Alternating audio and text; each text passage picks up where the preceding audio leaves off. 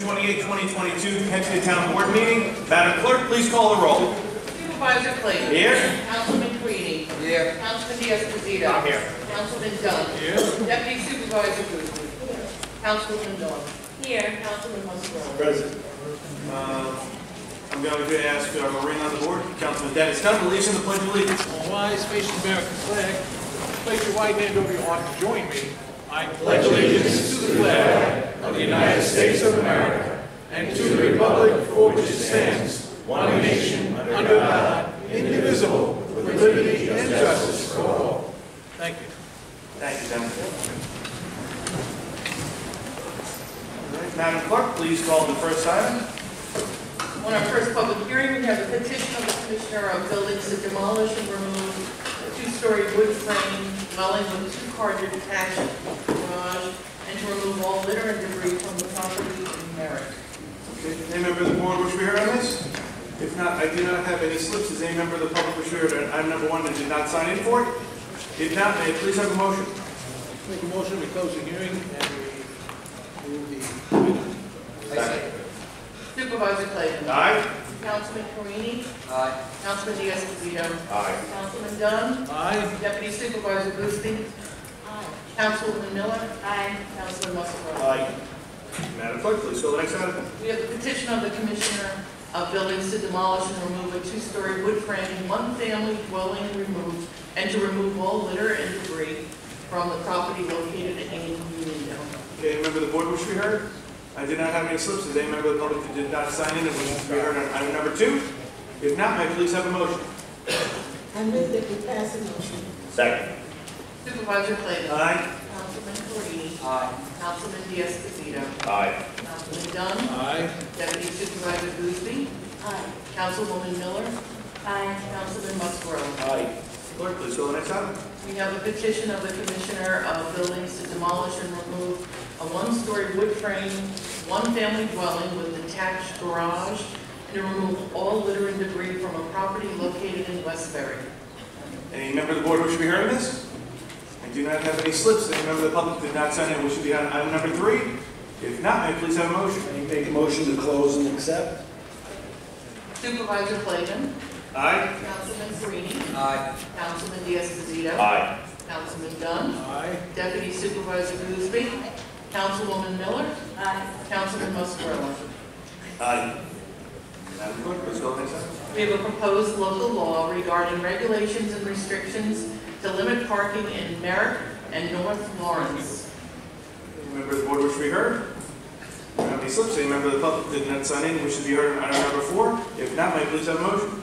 I move the public hearing be closed and the board adopt the item. Second.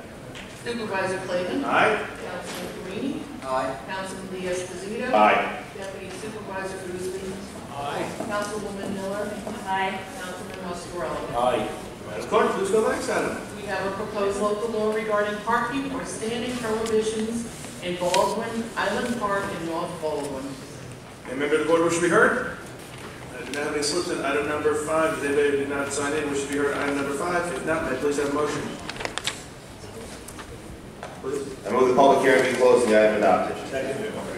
Supervisor Clavin. Aye. Councilman Carini. Aye. Councilman Diaz-Padrino. Aye. Councilman Dunn. Aye. Deputy Supervisor Goosby. Aye. Councilwoman Miller. Aye. Councilman Muscarella. Aye. Madam Clerk, please call the next item. We have a proposed local law regarding arterial stops in Island Park, Levittown, and Roosevelt. Any member of the board wish to be heard on this? I do not have any slips. Any member of the public did not sign in that wishes to be heard on this item? If not, may I please have a motion? Supervisor, I move the public hearing be closed and the local law adopted. Supervisor Clavin. Aye. Councilman Carini. Aye. Councilman Diaz-Padrino. Aye. Councilman Dunn. Aye. Deputy Supervisor Goosby. Aye. Councilwoman Miller. Aye. Councilman Muscarella. Aye. Madam Clerk, please call the next item. We have a proposed local law regarding traffic regulations in the vicinity of schools in Levittown. Okay, any member of the board wish to be heard on this? I do not have any slips. Does anybody wish to be heard on this item that did not sign in for item number seven? If not, may I please have a motion? Move the hearing to close and the item adopted. Second. Supervisor Clavin. Aye. Councilman Carini. Aye. Councilman Diaz-Padrino. Aye. Councilman Dunn. Aye. Deputy Supervisor Goosby. Aye. Councilwoman Miller. Aye. Councilman Muscarella. Aye. Madam Clerk, please call the next item. We have a proposed local law regarding vehicle speed limits in Levittown. Any member of the board wish to be heard? Okay, I do not have any slips. Does anybody wish to be heard on item number eight that did not sign in? If not, may I please have a motion? I move that we close the hearing and the local law be adopted. Second. Supervisor Clavin. Aye. Councilman Carini. Aye. Councilman Diaz-Padrino. Aye. Councilman Dunn. Aye. Deputy Supervisor Goosby. Councilwoman Miller. Aye. Councilman Muscarella. Aye. Madam Clerk, please call the next item.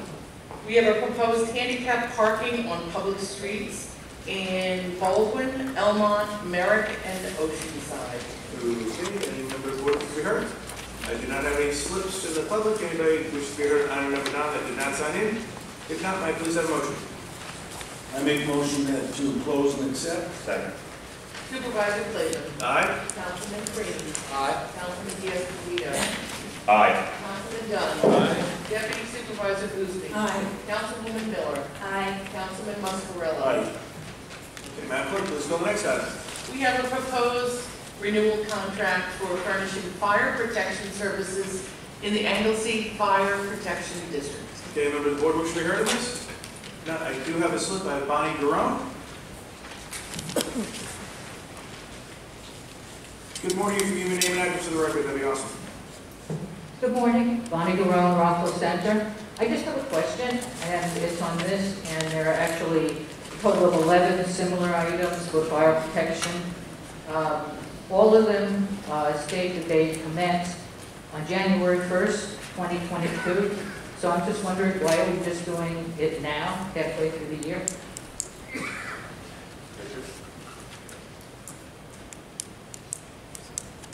That- Just identify something. Supervisor members of the board, Rich Regina, Town Attorney's Office. Um, These fire protection contract agreements, with the exception of Reckley, did expire on December 31st of 2021.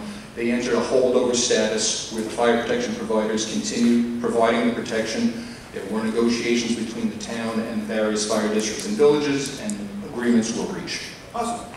Well, where does the holdover protection come from? Is that in the prior contracts, or is that just by custom? It's been customary practice. Um, Most fire protection contracts go into holdover status while either the village and the fire districts are negotiating with the town that will receive the fire protection district. Well, since, I guess I don't understand, since you knew this was coming, and you knew that they expired uh, on December 31st of the last year, why wasn't that negotiation uh, and the- the agreements done uh, prior to the commencement on January 1st, 2022? I I believe the negotiations were ongoing, but it's it's not a unilateral decision by the town. And there's also, one of the reasons why the, the negotiations take a little bit longer than expected is because many of the fire protection areas, uh, the way that they are governed fall under different budgets. For instance, the fire protection areas that protect the areas in incorporated villages would run June to June, where fire districts would run the regular annual budget of January to December. In addition, there were many, uh, state unfunded mandates that had come through over the last couple of years uh, with regards to the fire service that needed to be budgeted for, and all that was part of the negotiations with each one of these fire protection districts. I understand, I just don't uh, understand why uh, all of that wasn't anticipated and started earlier rather than we A- a- Actually, Mr. Virginia said that that there were negotiations, and none of the fire districts had any problem. They, they don't complain about this kind of stuff because they work with us. That's, we're really good at that. Yeah, but you're not good at doing this uh, on a timely basis, potentially leaving people unprotected. They- Okay, that- that's, by the way, that's, I'm, I'm gonna take that. Clearly, nobody was left unprotected, and you should not make that representation of any of our fire services. We take fire service, we respect the fire members in every community, and I want everybody to rest assured that no one was ever in danger, and we shouldn't make a false representation and malign our fire services. That's not right. Okay, so let's just be clear. I said potentially. I did not make the statement that you just, you know, clearly and politically. Um, uh, again, you're the one using words potentially, I think the fire services would take an And, exception. and as someone who spent over two decades in the fire service, there was zero potential for any of these areas to be unprotected. Okay, uh, even if that is the case, and I take your word that it was, and I certainly respect all the members of the respective fire services, and nothing that I am saying should be uh, construed to say otherwise.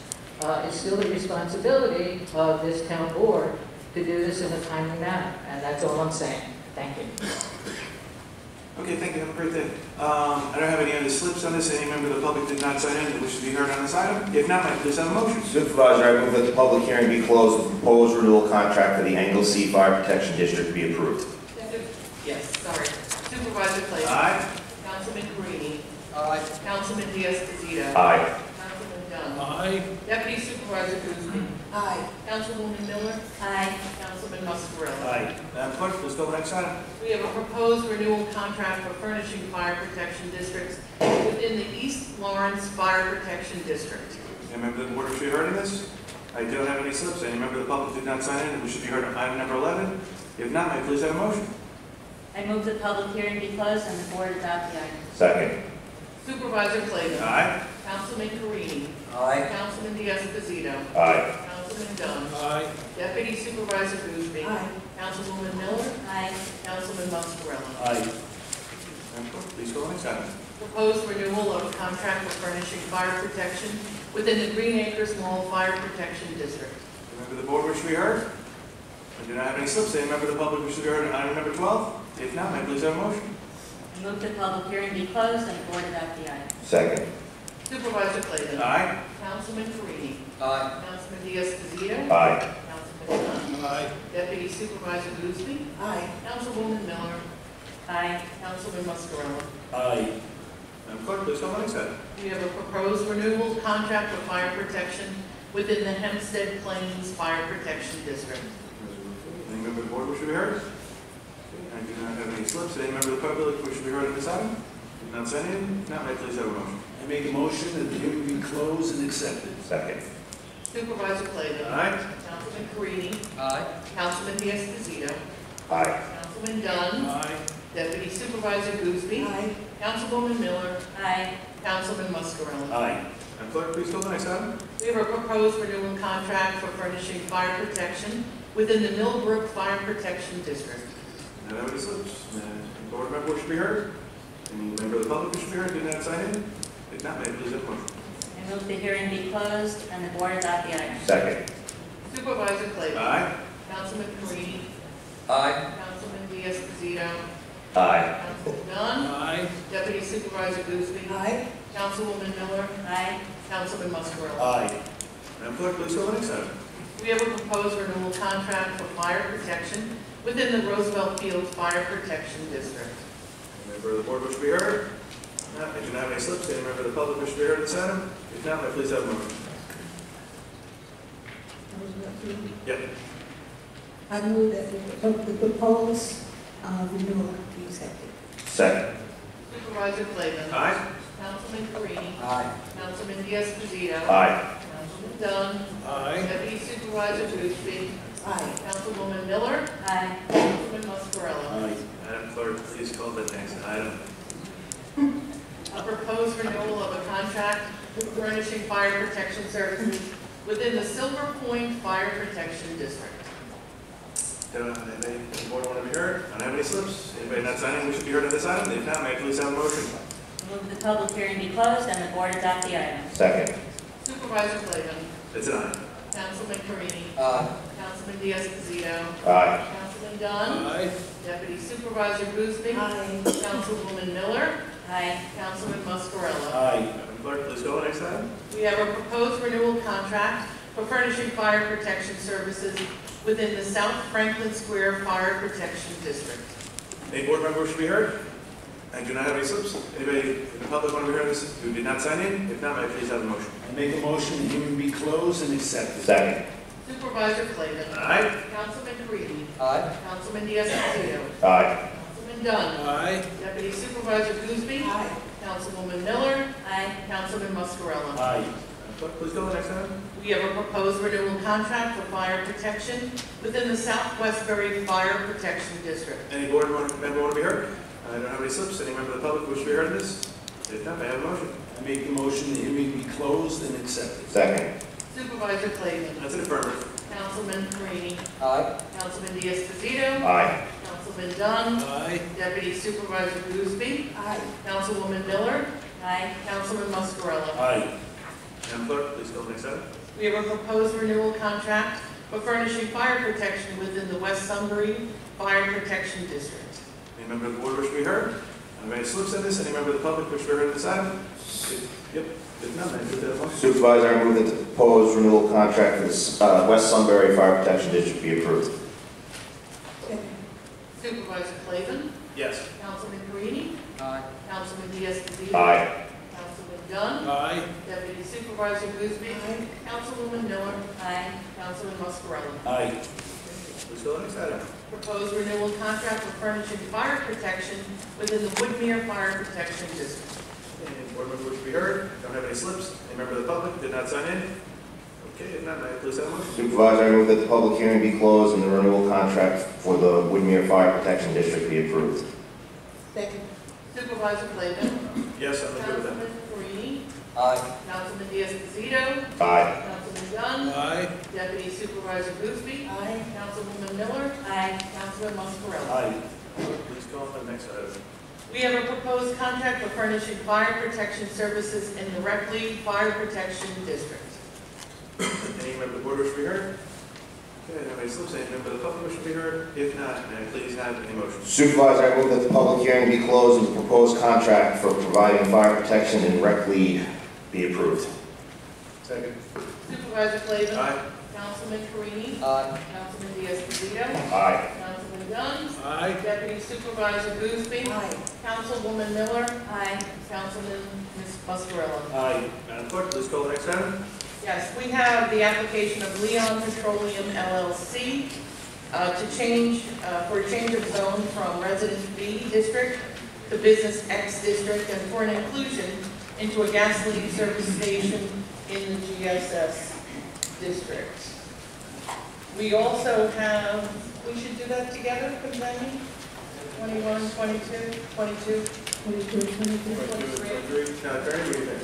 We have a They, they uh, Yes, and we have a companion application, to item 23, of Leon Petroleum LLC for a variance from the provisions of GSS ordinance consisting of two pump islands with four multi-grade product dispensers, canopy over the pump islands, three underground petroleum product storage tanks, each with a capacity of 10,000 gallons, and a one-story with overall area currently used for attended transactions and automotive repair. And that is in North Belmore. Good morning, identify yourself for the record, that'd be great. Uh, Good morning Supervisor, Deputy Supervisor, members of the board. Michael Sahn, Sahn, Ward, Braff, Koblenz, 333 Earle Ovington Boulevard, Suite 601, Uniondale, New York. If I may, uh, I would like to make a few introductory remarks, and then after that, ask Chris Tartaglia, who's accompanying me today from High Point Engineering, to give uh, more information about the applications to the board, uh, as well as Barry Nelson, who is also present uh, this morning. Likewise, Alan Leon, principal member of Leon Petroleum LLC, is present in the hearing room. As indicated in the legal notices, uh, these cases concern the parcels of property situated at the intersection of Jerusalem Avenue and Sawmill Road in North Belmore. The properties are identified on the Nassau County Land and Tax Map as Section 56, Block 213, Lots 101 and 111. Uh, The display screen shows the outline of the subject properties uh, that are before the board this morning. As shown, these are a very unique uh, triangular-shaped set of parcels with an overall frontage of approximately 305 feet on Jerusalem Avenue and 319.6 feet on Sawmill Road. Overall, the premises are commonly known as 507 and 2550 Jerusalem Avenue. 2550 is Lot 111, which is the easterly lot. Uh, The premises now consist of an approved gasoline service station, including two pump islands with a canopy over the islands, uh, tanks, a one-story building to the east of the islands that is used as an automobile service facility and associated facilities. Uh, The existing improvements for the gasoline service station were approved by the board uh, by resolutions granted in 1993. Uh, At the easterly end of the premises, uh, there is a two-story residential building. Uh, That building was constructed in or about 1959, uh, and there were some improvements made to it in 1988. That is Lot 111. Uh, My client acquired that property in 2015. At the time of acquisition and presently, that property is vacant. There is no one uh, inhabiting that property. Uh, And in fact, uh, my client has registered it with the town as a vacant property.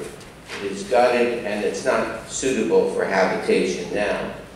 That's a very unique parcel because most of the parcel, which overall is approximately 11,130 square feet, is zone business. So it's a non-conforming, formally used residential building in the business zone, except for a small triangular portion of approximately 228 square feet that is located adjacent to Sawmill Road. Mr. Tartaglia and Mr. Nelson will talk about that further in their uh, presentations to the board.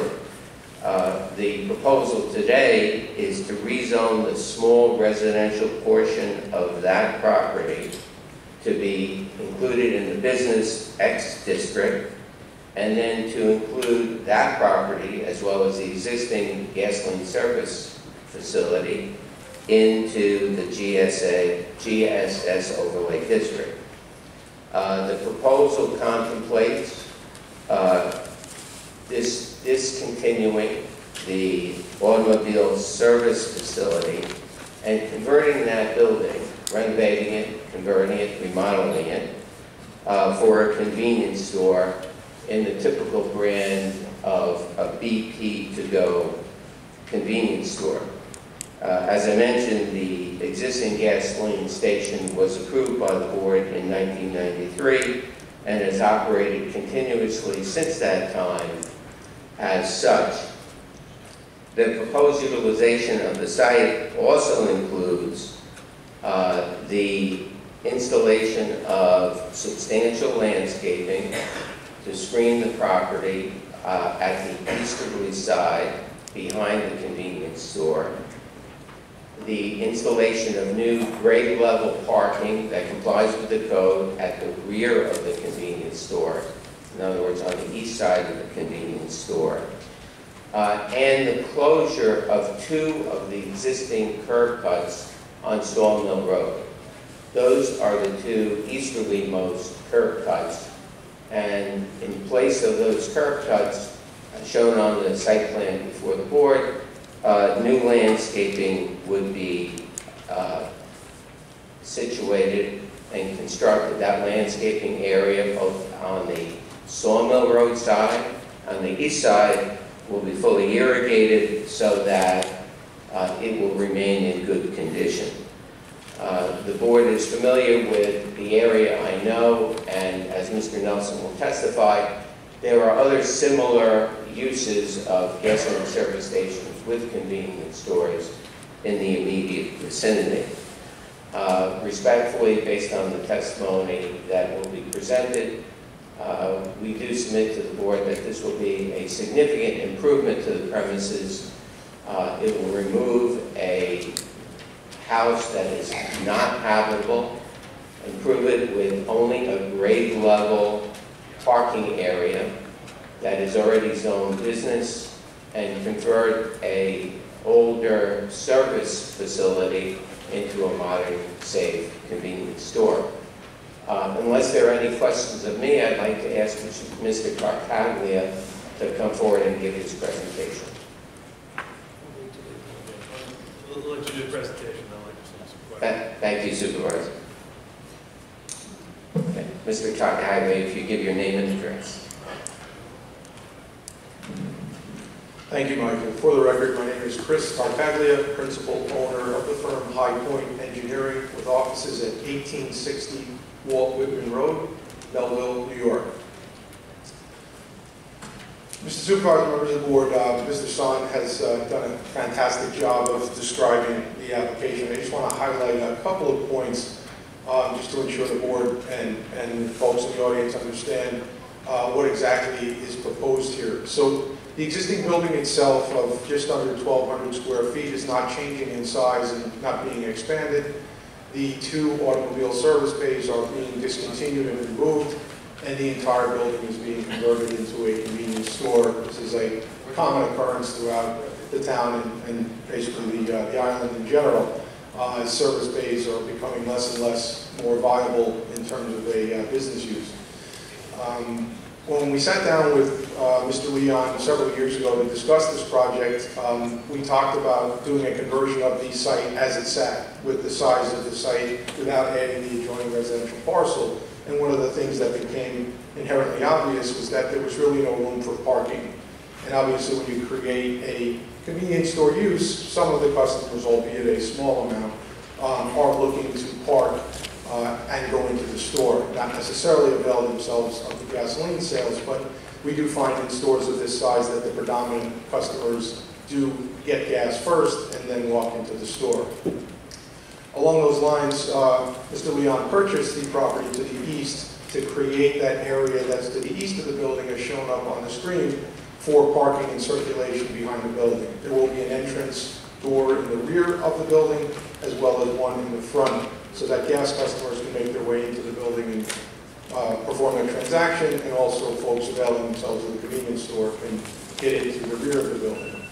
As is shown by the green areas on the east and south sides of the lot along Sawmill Road, we are providing landscaping everywhere on this property that is feasible to, uh, to provide. Same, um, just areas that are used for buildings, parking, and access aisles obviously cannot be landscaped. In terms of lighting, right now there is a light pole that is directly south of the building, the existing building that does spill lighting onto Sawmill Road. That light pole is being removed, and the nearest light poles are being relocated approximately 40 feet inboard northerly on the property. Uh, the, in terms of access, the access points on Jerusalem Avenue, two curb cuts are remaining the same. The access into the gas station on Sawmill River Road are remaining the same. There are two curb cuts, as Mr. Sahn mentioned, that are a little bit further east, which are being closed as a result of this. And again, the landscaped areas will go in the way of those curb cuts. Um, That's really the substance of the application. There's no changes to the pump islands, there's no changes to the tanks. Essentially, the addition of the property here is the key element of the application to create parking and landscaping areas. And also, um, the existing underground storage tanks were replaced years ago. They are in full compliance with current regulations, double wall fiberglass, um, and exceed local regulations and requirements. Uh, If the board has any questions, I am here for the duration. Um, If not, I will turn it over to the next speaker. Thank you. Thank you. Thank you. May I please introduce Mr. Barry Nelson? Uh, we're, we're very excited about this. Thank you. Good morning Supervisor, members of the board. For the record, it's Barry Nelson, 220 Pettit Avenue, Belmore, New York, 11710. I'll start off, I do have some photographs of the subject property and surrounding uses, but uh, They're great. Somebody can just go in the back there and grab it. Thank you.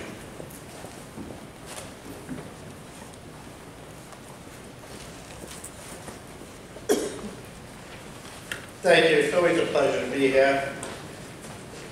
You've heard the crux of the application, and what I did is I provided photographs of the subject property, both parcels, and the surrounding uses found on Jerusalem Avenue, Sawmill Road, and some other similar type of gas and C-stores that would be found in the North Bel- Belmore locale along Jerusalem Avenue.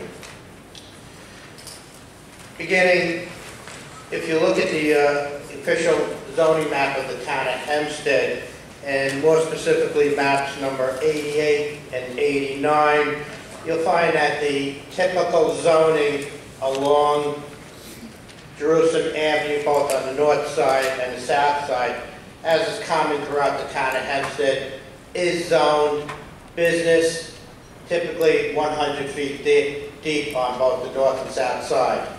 Various locations, it'll extend further than 100 feet.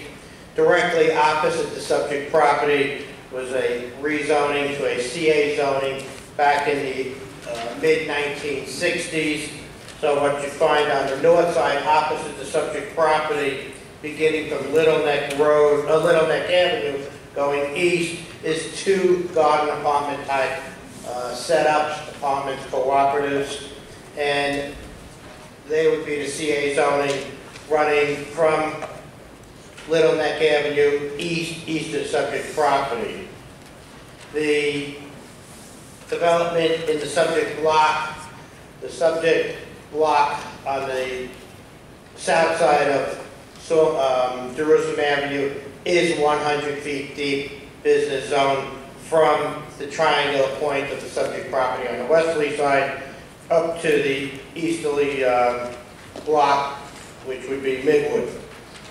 The single-family homes along uh, Sawmill Road is well-maintained, colonial, ranches, Cape Cods, and high ranches in design.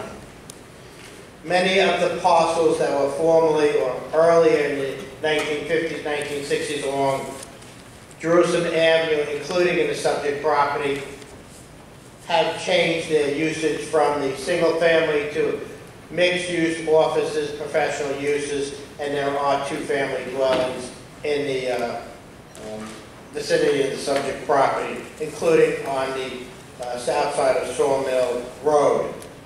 The Fairland Nursing Home would generally be just to the west of subject property, west of Little Neck Avenue. As Councilor mentioned, the crux of this application is to rezone a small portion of tax lot 111 where the residence exists. What you have is that parcel is approximately 6,214 square feet in totality. Approximately over 5,000 square feet is 5,972 square feet is in the business zone. So you have a small portion, and how does that small portion come about to be the residential B district? As I mentioned earlier, typically you'll find the business zone ribbon, both on the north side and south side, 100 feet deep. The easterly side of the, uh, that tax lot 111 is approximately 113 feet deep. On the westerly side is approximately 80 feet. So there's a triangular portion, and that would be the landscape uh, area generally at the southeast corner of the subject parcel that's up in front of the, uh, on the screens. The property, that portion of the property has been vacant for, and unoccupied for many, many years. It'll be removed for, as you noticed, landscaping and approximately seven on-site parking spaces. The curb cuts both on the north side and the south side. That parcel will be eliminated, there'll be no access to the Jerusalem Avenue corridor or to the Sawmill Road corridor. The service station, so you're taking approximately 14, 1,500 square feet of building area, removing it, and now providing landscaping and parking on that property. The building itself where the service bays uh, exist today will be totally renovated and upgraded for the convenience store. There'll be no enlargement of that building as you see it is today, exists today. Otherwise, that's the crux of this application and to include the entire parcel and some modification to the GSS uh, uh, overlay district. In this, uh, in my process of uh, preparation for this today's hearing, I've investigated and looked at many other locations, and there are many locations throughout the town and on Jerusalem Avenue, the northeast corner of Jerusalem Avenue and Belmore Road, a removal of a service station, a building to the east, and now is a 7-Eleven gas and convenience store. If we go to the west, you'll have similar locations at uh, the northwest, southwest corners of Newbridge Road and Jerusalem Avenue. This parcel is a unique parcel in that it's a triangular parcel. And if we go further along to the west in the North Belmore locale, you come to somewhat a similar parcel that was before this board several years ago, approximately 2015, maybe 2014. It was a service station. It's a triangular parcel at the south triangle of Belmore Avenue, Park Avenue, on Jerusalem Avenue. That is a parcel size smaller than the subject property at approximately 12,100 square feet. It has a convenience C-store, which was the renovation of an existing repair shop at approximately 1,800, almost 1,900 square feet. And it is similar, while it's oriented north and south, the subject property is east and west. The subject property is a larger parcel and lot area, and it, it has a much smaller C convenience store at approximately rounded at 1,200 square feet. I looked at that parcel carefully. It's a new parcel, and approximately 60, uh, new development for the gas C store. It is a BP station, and looked at it, had an impact the residential community surrounding that property, both on Belmore Avenue and Park Avenue, where the residents abut that property, and to the uh, south on Sheila Place. Property values continue to appreciate, consistent with the surrounding areas. In fact, uh, uh, resale of uh, one of the houses on there showed within the deve- uh, development time after the conversion of the repair shop to the C-store. Resale at 1224 Belmore Avenue showed that it increased consistent with other homes in the area outside the commercial uh, development. Nevertheless, the impact of um, the commercial use is already existing. It has been existing. The station's been there since 1959.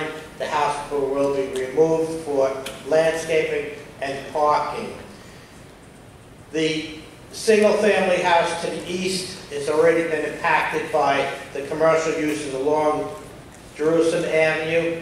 And in fact, the applicant is proposing a better development with landscaping to that single residence to the east.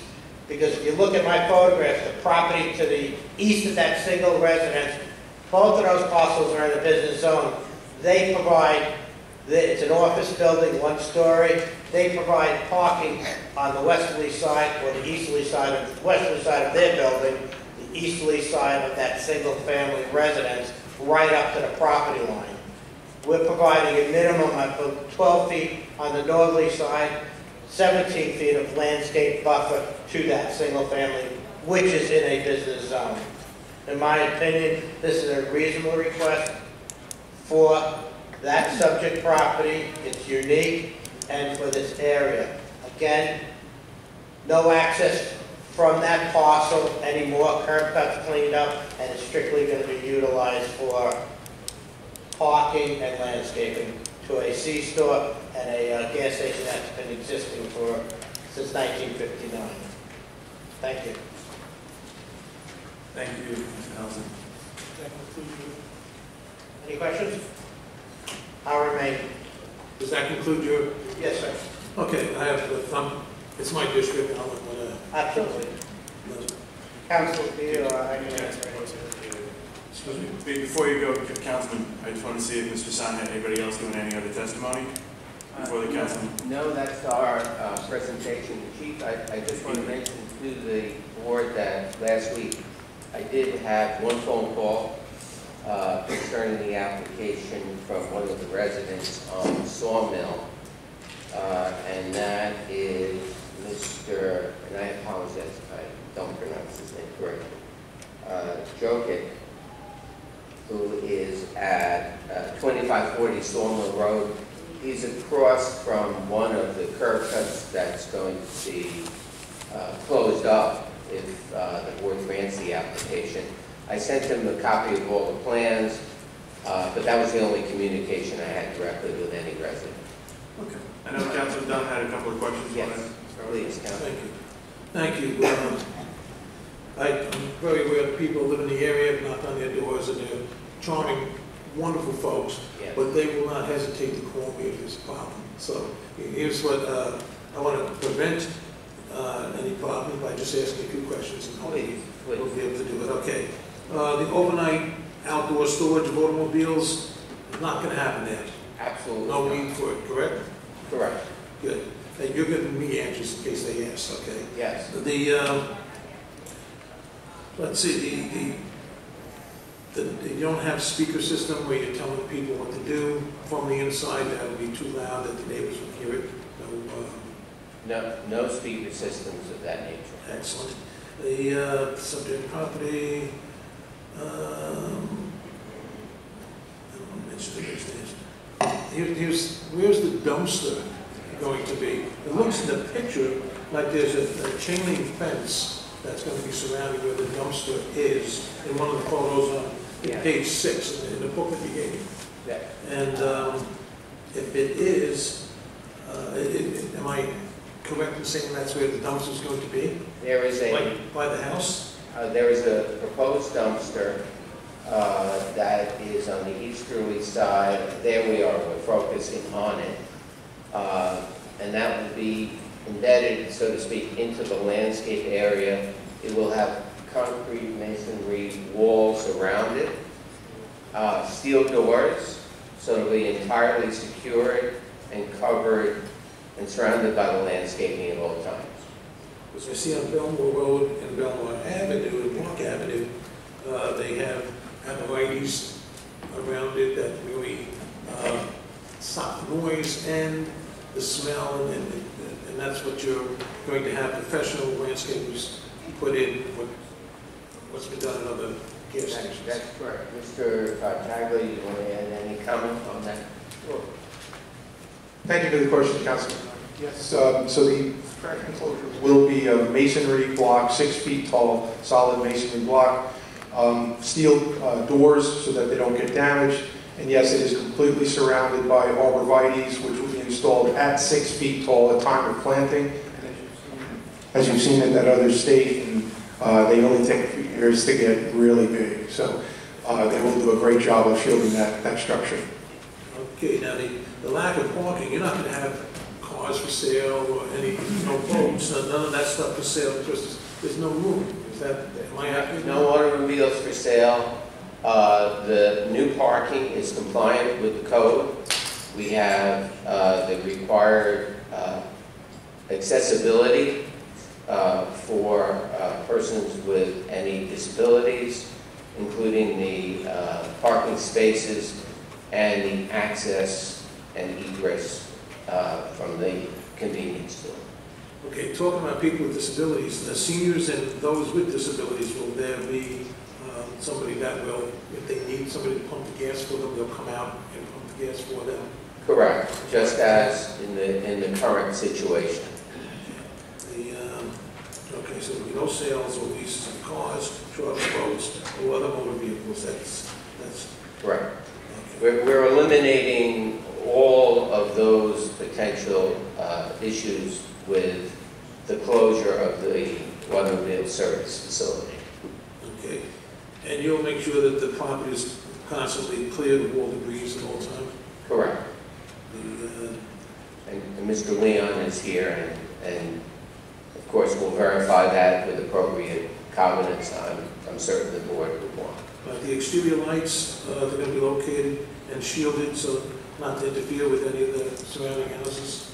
Uh, That's correct, as shown on the plan, and Mr. Ta- Tartaglia mentioned, some of the lights are being removed and new ones are being placed that would have the shielding on them.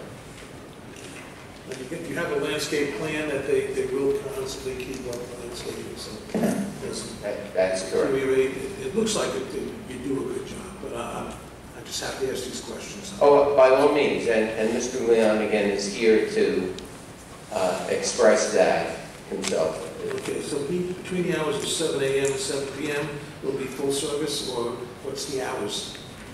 Uh, This will be, this will be a self-service station as it is now, and the, the hours are proposed to be the 24-hour operation. But there are hours, as in the existing covenant, when uh, persons who are in need uh, would have the gasoline uh, pumped for them. like the fencing, you're gonna have the, uh, the finished side, uh, it in good condition all the time, and it should be facing the neighbors, the finished side of the fencing. Correct, that's correct. Um, Food deliveries, uh, they're not going to interfere with, uh, not going to happen at night, and the the dumpster removal and the uh, fuel deliveries, uh, they're going to be at hours that aren't going to be disturbing the neighborhood. Uh, Correct, as, just as with the present operation. And the deliveries to the uh, proposed convenience store really would be from smaller type vehicles. It's, it's a relatively small facility at uh, 1,100 square feet. And, and the people that go into the convenience part of it, uh, they'll be parking on the road, running in and running out. It'll be momentarily, it's not going to be a long-term parking where they're going to hang out, because they don't want kids hanging out there, and, uh, No, in fact, in fact, you know, one of the benefits, we respectfully uh, believe uh, come with this application is to remove the uh, house that is not occupied, been there for many years. So that could attract transient type people. And uh, in this fashion, the parking is more than adequate for uh, briefly coming in, securing a transaction, and leave- leaving the premises. Right, the, and it will be selling beer, I'm sure, like all convenience stores do. Uh, they won't be selling vapes, or or will they be selling vapes, or uh, marijuana, or any of that? Uh, Uh, Just want to make sure. Mr. Lee, I, I don't believe Mr. Leon, am I correct? No, no. Okay, hey, thank you so much. All right, thank you, we appreciate it. Thank you, council. So what's the uh, hours of operation right now? Uh, The uh, hours of operation presently end at 10 PM. So this is gonna be twenty-four hours. And then the other thing is on the east side of the store, what is that, four parking spots? Uh, No, let's let's focus in on that. Okay, okay, so I'm looking at the top, I'm looking at the top where you drive in. That I have it, I see like it's, it's broken off, that looks like it's sort of a, like a a turning kind of openness, and I see one, two, three, four, is that a fifth one down the bottom, right? Yes, that's, Okay, and then I see where you put the dumpster, and right now I notice the dumpster is like on the side of the building from a picture you submitted, not me. Um, What time are they gonna pick up the garbage? well,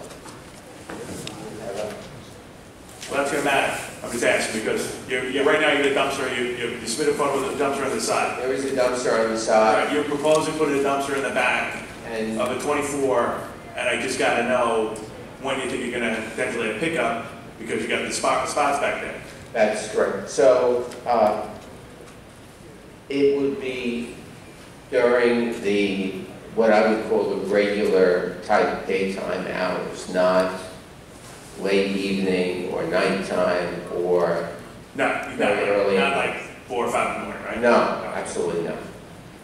Maybe an early person, no. Yeah, no, absolutely, and, and those hours are, uh, subject to regulation for the town code. Okay. Also, I noticed that, uh, and uh, Mr. Mr. Nelson, with his inspiring testimony as always, uh, submitted a couple of photos. Um, in, in fact, uh, again, he, he submitted these. I did notice that a couple of new structures, like the, the 7-Eleven, he sent, uh, the picture of it, uh, has some, it looks like a, some, almost some fake stone, six-foot fencing, and a couple of other ones have fencing, and then, uh, you know, greenery abutting the fencing. So are you guys just proposing a fence, or a combination of the two? Or, Like I said, he submitted them, so I'm just trying to get an idea of what you're, you're thinking about for the residents. Well, uh, as shown on the plan, we have a very substantial buffer area. I, I got you. I, it's green okay, great. What, what's, is there a fence there with buffer, or is it just buffer? Yes, there'll be a PVC fence Okay, how, how high? perimeter, six feet. Six feet? Okay, that's, that's Six almost, feet, six feet PVC, so it's good on both sides. perfect. Okay, um, we got a couple of residents that, that wanna, you know, have some Of course. comments here, so if you can stick around for them, that'd be Of awesome. course. Thank you so much. Well, hold on, wait, Councilman, uh, Ms. Gurley, go I ahead. have a question. Is the owner and the operator the same person, or is it le- uh, rented out to somebody?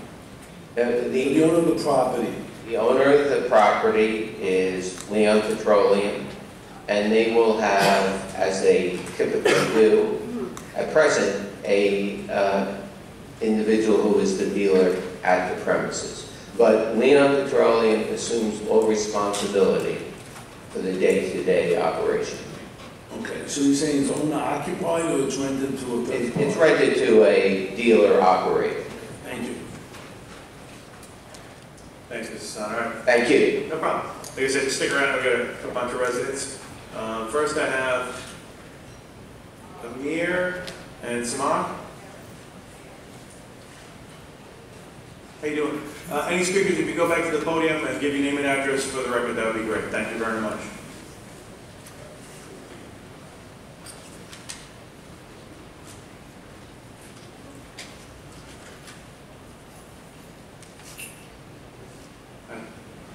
Hello everyone, my name is Amir Marfani, and I'm the resident at uh, 2546 Sawmill Road, and I live right across from the gas station. Um, I have some concern, um, and this is, yeah, and uh, that's the reason I'm here. I'm gonna have my total speech first, and then I'm gonna follow the speech. Okay, uh, Everybody gets, you, you just, it's gonna be three minutes for each of you, so I just wanna let you know, if you switch up, they're gonna switch the clock on you. Yeah, And if you could just give your name and address, Kevin. Samar Marfani, I'm from 2546 Alma Road. Um, I just want to say good morning, and I'm here to speak on the issue regarding this expansion of the property. I would like to begin speaking on the question of whether it's safe or not. Personally, I don't feel super safe. There's already so many people in and out of that area, in the gas station, and hanging around there, hanging around there. And I also see how many kids on my block are always playing outside and our neighbors are walking. I feel like with the expansion of this property, there will be an increase not only in the amount of people, but the amount of traffic. The street that we live on is already so narrow with cars parked on both sides. I'm a new driver and it's almost impossible for residents here to safely pull in and out of their driveways and take off. I can't imagine with the expansion how many more cars will be flooding the streets. This is a neighborhood that has recently had a lot of children, and I see them playing every single day outside, whether it's biking or throwing snowballs. I can't imagine these kids having to stay indoors because there are random people right across the street or due to all the traffic. This decision, I feel like, is not safe nor healthy for our neighborhood. Thank you for listening. Just, just a, a quick, uh, note of. You're, you said you're on Summer Road? Yeah. And what number, just like on the picture, if you were looking at your door, what would you say right now? 2546? Okay, fantastic, thank you. Thank, thank you both very, very much. Next I have Nita Djokic.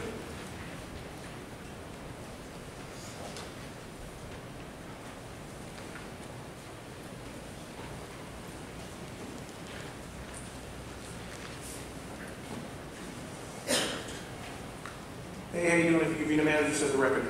Hi, My name is Nada Jokic. I live at 2540 Sawmill Road. So when I look out my dining room window, I'll be looking at the parking lot. Um, I'm going to try to make this as brief as possible. Um, I'm obviously opposing this matter. I myself have two children, one on the way. My neighbors who just bought the house in January have two kids.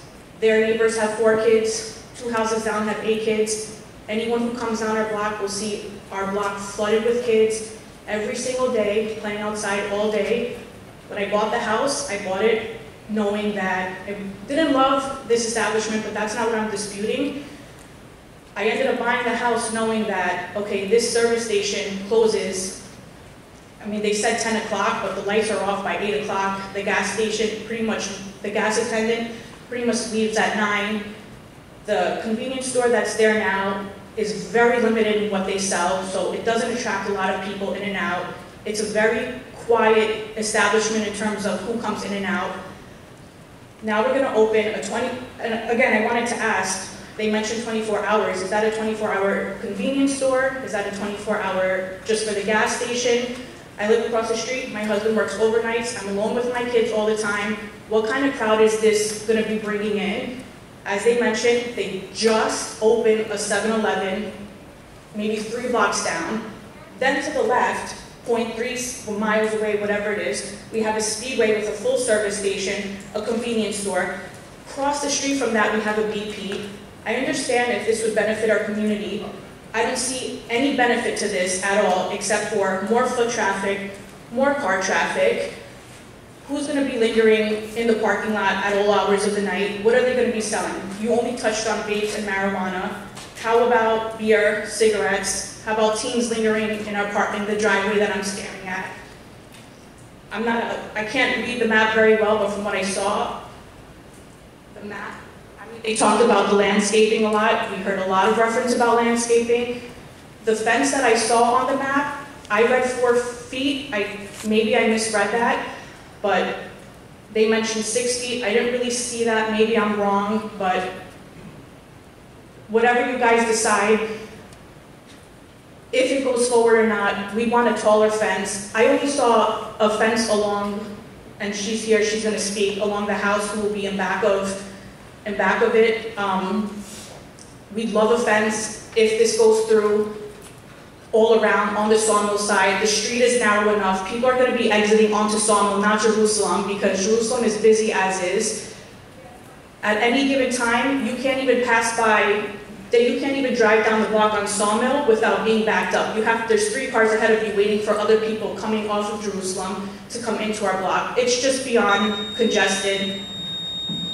All right, that's all I have. I'll leave it to the other people. Thank you, Can thank they you very address, much. can they address that? Yeah, I was gonna say, Mr. Sahn, you want to address a couple of the concerns you brought? We also have a petition. A lot of our fellow neighbors couldn't be here today because unfortunately it's held at We'll, we'll be, we'll be happy to, to accept the petition. We'll have the clerk's office take it right now, okay? We'll make it part of the record. Okay, I had more questions, but I didn't have enough time, so I'll. That's okay, you know, and and like I said, you know, uh, you don't know what, what- how we're gonna do it, but, uh, let's see how the the meeting goes today, okay?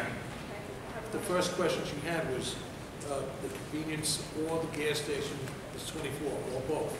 But both are proposed to be 24-hour operation. And both would work, obviously, in tandem now. And address the hangout part of it, it's not large enough. Tell, tell me. Well, the, the uh, real benefit, or one of the real benefits of this is to remove the house that's vacant and unoccupied and has been for many, many years. And there have been uh, situations previously that Mr. Leon has had to deal with to make sure that people were not, transient type people were not, quote unquote, hanging out at that house or behind it in any way. So now, instead of that house, we'll have a clear ground level uh, parking area surrounded by landscaping and fencing. It'll be easy to police, there'll be security cameras and appropriate lighting. Uh, With respect to fencing, uh, there is, again, the six-foot PVC fence along the easterly side, but in speaking to Mr. Tartaglia, uh, we can also provide a four-foot PVC type fence along Sawmill, either in front of or behind the landscaping that's proposed on Sawmill. Uh, I think it would look better personally if it was behind the landscaping, but that's a matter of preference.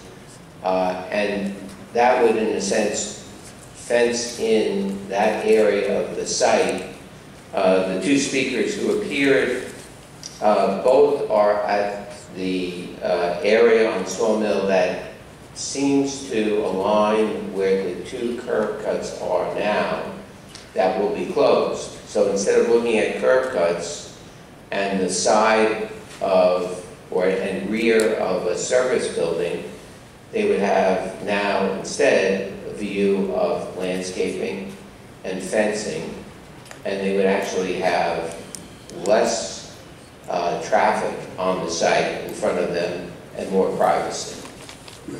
All right, I said when I started, that it's a charming area, that part of North Belmore was, oh, all of North Belmore was charming, but that part where it's North Belmore will let me know if something goes wrong. And- Yes. And they, they definitely, the new families moving in, the new kids, more kids coming, and it's, so our job is to protect them. So that's why these questions are really important to them and to us, make sure that, that the place that they moved into is the proper place that you would want to move into. Absolutely, and I'm going to date myself a little bit. I must have been just out of law school in 1993 when I had the pleasure to appear for Mr. Leon uh, on the original approvals. And uh, I've been past that site many, many times, and um, I do believe, again, this is my personal observation, that Mr. Leon has done a very fine job maintaining it over the years, as with his other properties, uh, and I know he'll do the same. Okay. All right, uh, next, uh, we have a lot of residents here. We have Marinko DeJoyik.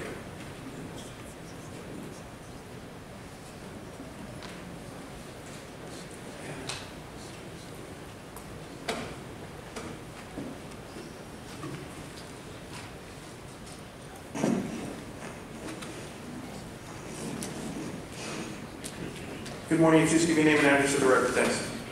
Good morning, my name is Mauricio Jokic. I live at 2540 Sawmill Road. I am uh, right across the street, and if you look outside my dining room window, you see the parking lot. And um, so I was raised in Queens. I moved to Long Island, so I wouldn't have to deal with things like this. I grew up in a building, and um, the building had a a deli, 24 hours. So I know all about the 24/7 convenience store, what it could bring, and um, I'm opposed to it. My wife, my neighbors, we went down the block, the whole block, from, from the corner over here all the way down to the next corner. Nobody wants it. And um,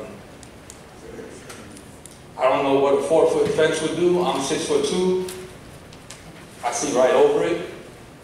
But from the other side, they can see me, so I don't know what purpose a four-foot fence would be. And, um, like uh, my neighbor said, there's a whole bunch of kids playing outside, especially in the summertime.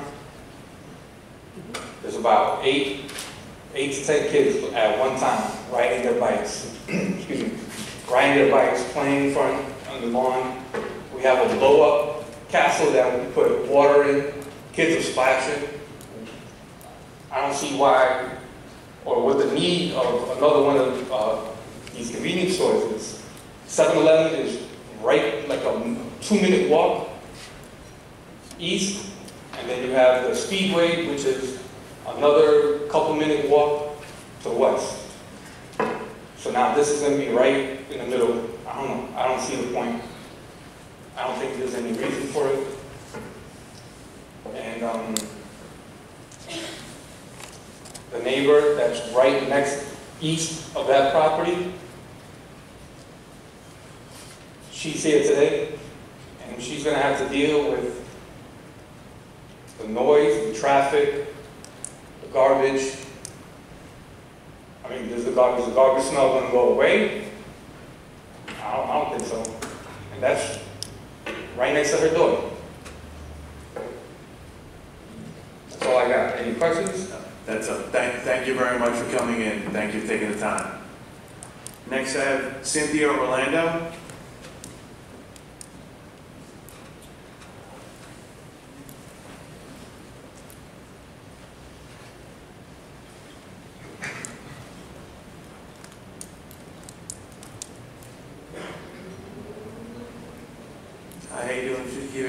address to the record, thanks.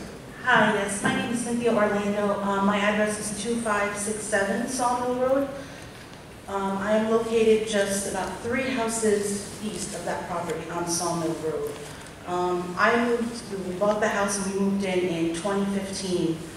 Um, And before I moved in, I would go visit the neighborhood, I would go visit that street, all times of day, all kinds of hours, just to see what kind of block I was moving into. It's a quiet neighborhood, it's full of kids. My child is now five years old. She rides her bike down that street, she rides her, her little cars down that street, and like all my neighbors said, it's full of kids, it's families. Down the block from us is Sawmill Road Elementary School, the biggest elementary school in North Belmore.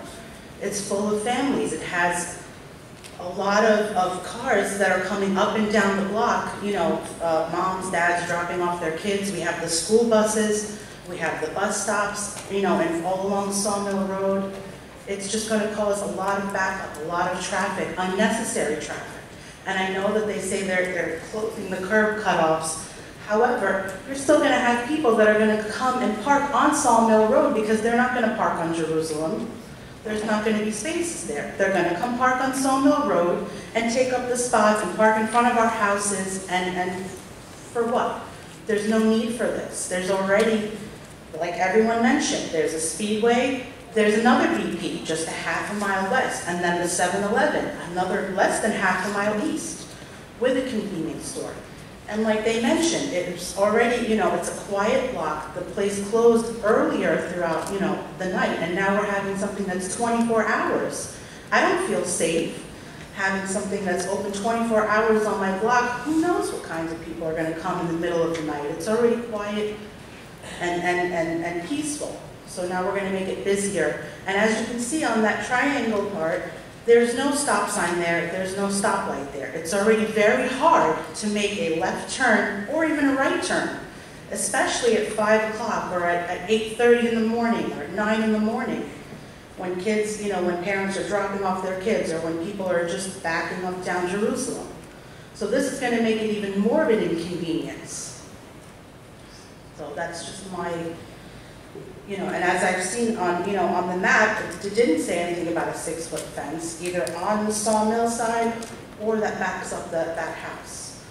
So if it does, you know, end up going forward, we do want it, you know, to have higher fence and, you know, maybe, hopefully, we can just not have it to be 24 hours because I just, you know, like I said, we don't feel safe. We're a block full of families and children. We just don't want that. We don't need that. Thank you for Thank you, Ms. Orlando, thank you for coming in today. Uh, Next, up, Brian O'Toole. Good morning, sir, just give me name and address for the record, thanks. Yeah, good morning, Brian O'Toole, 2553 Townhouse Circle. I live directly behind the house of lady you spoke from. Um, From my bedroom window, I can see the lights of the gas station up till 10 o'clock at night. I oppose the 24-hour uh, acceptance of this. Also, the um, the curb cuts, there's is there curb cuts on Sawmill Road? They did say there was, some people said there not, looks like there is from the plan. Also, the, if you expand the map out a little bit, I requested several times, go to the left, please. Go- Yeah, further to the left, to the next road, the next intersection. Sorry, they're maybe not, that, not on that map. But on the corner of um, Little Neck and North Jerusalem, uh, sorry, Little Neck Avenue in Jerusalem, I submitted several times for a stoplight to be put there. They did a, um, they did a traffic, uh, traffic um, review, and they came back with, you don't need one. This is a very highly trans, tricky, highly, you know, highly, um, a lot of people drive back and forth. Sawmill Road is a very busy, busy area because of the school on Sawmill Road. Um, there is a high percentage of, uh, there's a, at least three accidents that I know about on that one specific corner of north of, um, Little Neck and north, and uh, Jerusalem in the past couple of years, including my mother-in-law.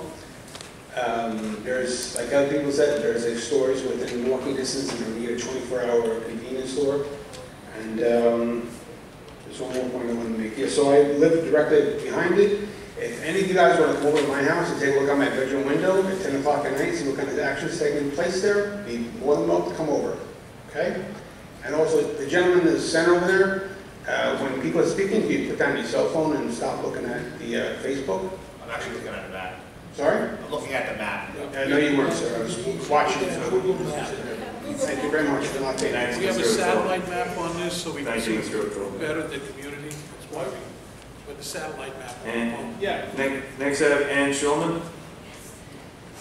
May I here? We- We generally have everybody go to the back there. Thank you very much. Appreciate you coming in.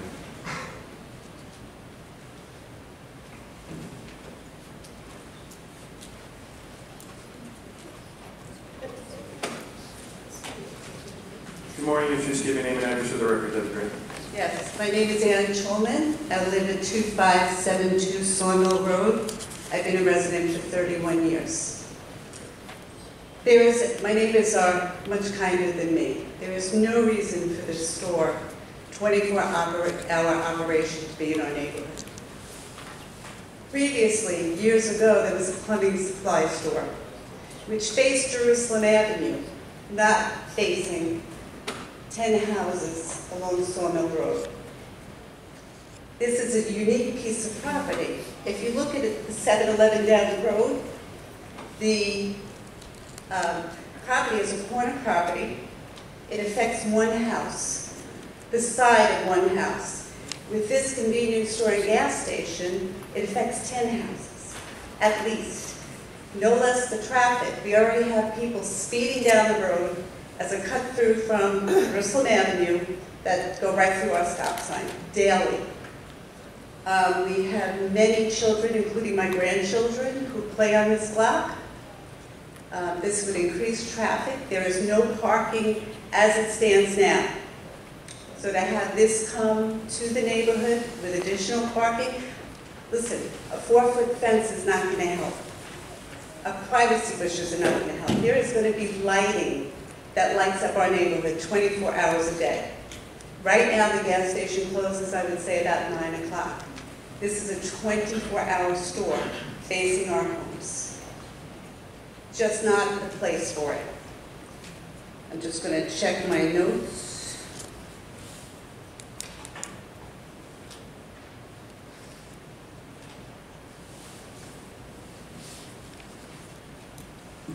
Looking at the condemned housing, it's not optimal. The condemned house that's on that property now, but it's quiet. In 31 years, I think I had to chase somebody off that property twice. It's not an issue. It's a very quiet neighborhood. We always look out for each other. We look out at that property. We make sure that it's maintained as far as we make sure that somebody's doing what they should be doing. Um, it hasn't been an issue. We have Stop and Shop, which is right down the road. We have 7-Eleven, we have strip malls. This is just not the place for it. When the gas station was putting up the lighting that they have now, the awning over the pumps, we didn't complain. It wasn't as bad. The gas station was there. That, you know, was the way to go. It was the new thing. When you look at the arrows, if they can blow that up, there's arrows leading right out. You go around the parking, and then you come around the building, and the arrow goes right out onto Sawmill Road. So there will be additional traffic to Sawmill Road. Thank you for your... Thank, you, Sean. We appreciate you coming in today. Uh, Next, I have Michael Rosenblum.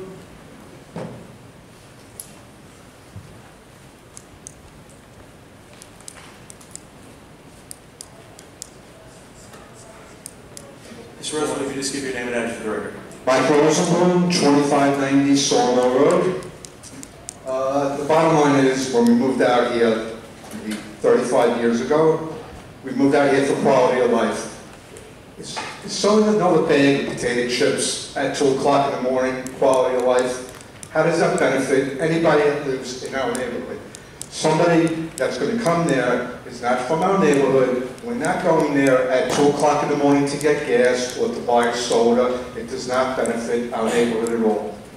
Secondly, if you talk with the Nassau County Police Department, at the first stop sign, people speed down that road, they blow through the stop sign, There's tickets given all the time because I live at that first stop sign on Sawmill Road. So there's gonna definitely be more traffic than there is now. Also, you could build a fence, a six-foot fence, a ten-foot fence, doesn't make a difference. You could put great shrubbery on it, does not make a difference. If kids pull into the parking lot at two o'clock in the morning, you think they're gonna turn their cars off or turn their radios off? The radios are gonna be blasting, they're gonna run in, get what they wanna get. It does not benefit anybody in our vicinity, nobody. It benefits somebody that maybe is driving down Sawmill Road and says, let me get a candy bar. How does that help anybody? Does not. Thank you. Thank you for taking time to come in. Uh, Next, I have Robert Accurso.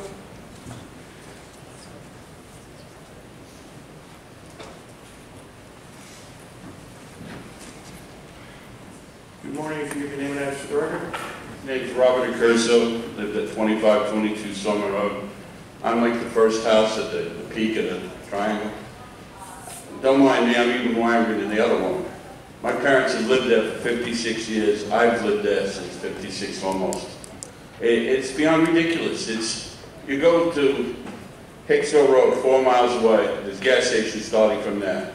Like the woman said, the 7-Eleven is, there's, there's four gas, gas stations east of this one. Then there's three the other way. It's like Rite Aid and, and, and, and CVS's. How many do we need? Literally, I could walk to every one of them. My parents moved in in 1966. They, this town had said that the gas station was going away and they were going to make it a little park, a little village green. This town, I'm sorry if you take this personal, you're not here to protect us at all because this is a joke. It's ridiculous. I, I, I'm a retired member of the service. I was down in 9 I've seen a lot of stuff in my life. I'm, I'm emotional right now because this is ridiculous. Like they said, I don't have any kids, but I see the new Fox kids coming into the area. There's so many kids. Next to me is eight. I, I've seen over the years, this town has lied and said they were going to put a light at that corner.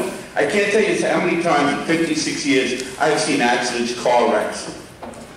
The, the Southern State Parkway is right over. They use Jerusalem Avenue as a service road. And at between 2.30 to 7, everybody's coming over Jerusalem because it's not working, flying down Sawmill.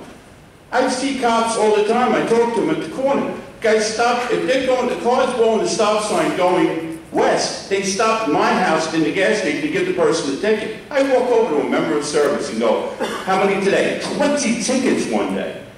Blowing the stop sign. School buses. What, wait, you wait? How many deaths are going to be on all your conscience? You know, from not having a light. You want the man on Little Neck. How many cars? The, the way the road is, you can't see. And it's so congested, people pulling out. I mean, they were going to, at one point, Hempstead was going to make Sawmill one way. So it would relieve traffic. That didn't happen. The light didn't happen. Like I said, I wish I, I'm computer oriented and I find out how many accidents that's been on that corner, where that triangle meets Jerusalem. It, it's, we need this like a hole in head. And like I said, I look out, I see how much the gas is going up that day. That triangle.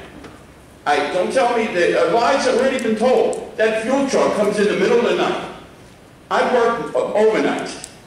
And I still can't, 13 years retired, I still stay up.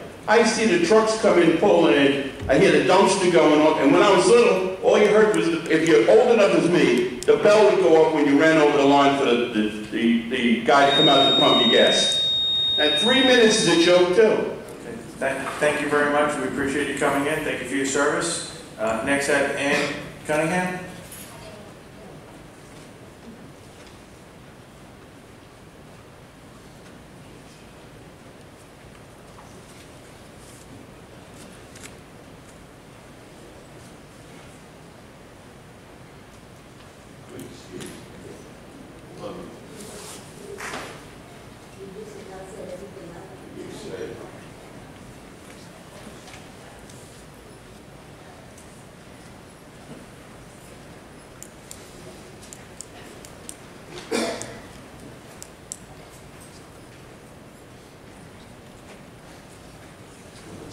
Good morning, Ms. Cunningham, for give your name and address of the record.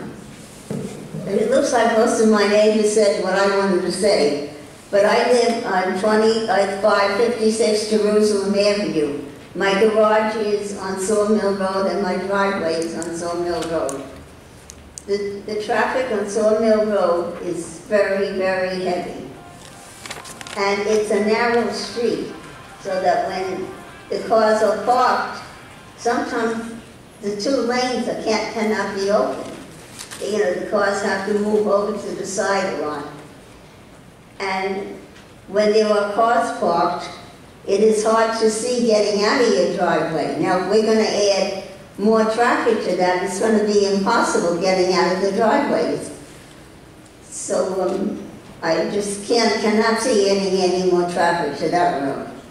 Okay? Okay? Thank you, Mrs. Cunningham, thank you very much for coming in. Next, have Tina Pizzulo.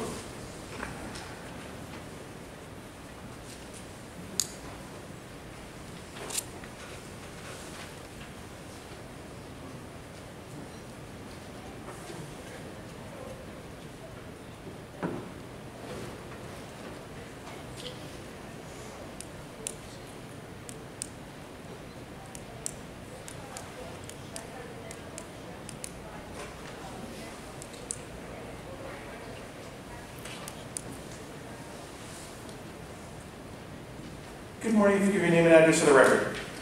Good morning, everyone. Uh, My name is Tina Pizzullo. I'm at 2561 Sawmill Road in North Belmore. My neighbor is Ann Cunningham. She's right next door to me. I agree with her. The traffic here is terrible. It's horrendous. And if you're gonna put a convenience store there for cars to park, to park there, how are they gonna get out? Jerusalem Avenue is a bad dream. I'm a New York City resident. I lived in the city almost 30 years. I feel that the, the city is North Belmore now. There is so much traffic, it's not funny. I almost got ran down a couple of times. They speed so fast, it's not funny. And there's no, I asked David Denenberg, I'm with the Sons of Italy also in a few other clubs. And I had asked David to put a light right across the street from Colonial when, uh, when he was there. Unfortunately, he passed away. He was a good friend of mine, Claudio. And nothing ever came about. I guess he couldn't do anything about it. I told him, tell the legislator, because my friends, when they come to pick me up to go out, it's, even the cabs, anything, it's very hard to uh, get out of it, get out of all that, you know, it's so busy that it's dangerous. So if you would put a light there, the cars would stop and people could go, you know, in their direction. I don't drive because I'm from New York City. There was no place to park a car there. And I never really cared to drive. But when we moved here, I don't even know how or why we got here, uh, I wanted to learn how to drive. But because of everybody driving so fast and there were so many accidents, and when I go down the southern state, I see all these wreaths. And I said, what's that for? And they said, people died there, they had an accident. I mean, it's so scary. No matter where you drive, it's scary now. It's gotten worse and worse over the years. And uh, I don't know how they're going to get out of the convenience store if they, if they build this thing. And also, I was to the inauguration of the 7-Eleven convenience store. Kate Murray was there. I saw her. I know them from the Sons of Italy. Hi. So uh, they don't need another one. I walk everywhere. Unless I'm going far to the bank or whatever, or I'm going to uh, Eisenhower Park for a concert, I take a cab or I go with friends. But I don't drive because I'm scared. Everybody drives so fast. And nobody does anything about it. So I really, I think what they should do is fix that little house up that's been there 100 years and sell it to somebody that could use it. Fix it up or knock it down and rebuild one instead of a parking lot there. Because I, I don't see how people are going to get out. Jerusalem Avenue is completely full of cars. You cannot even cross the street to go to the post office. And I've seen people get hit. My own dog got hit there. Thank- We had to go in the middle and pick Thank- him up. Thank you as always for, for coming in and speaking today. We're very grateful for that. Uh, next I have Satin Mustafa.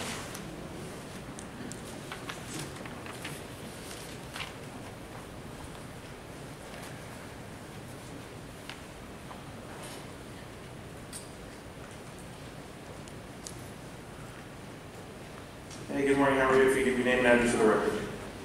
Uh, My name is uh, Mustafa Setin.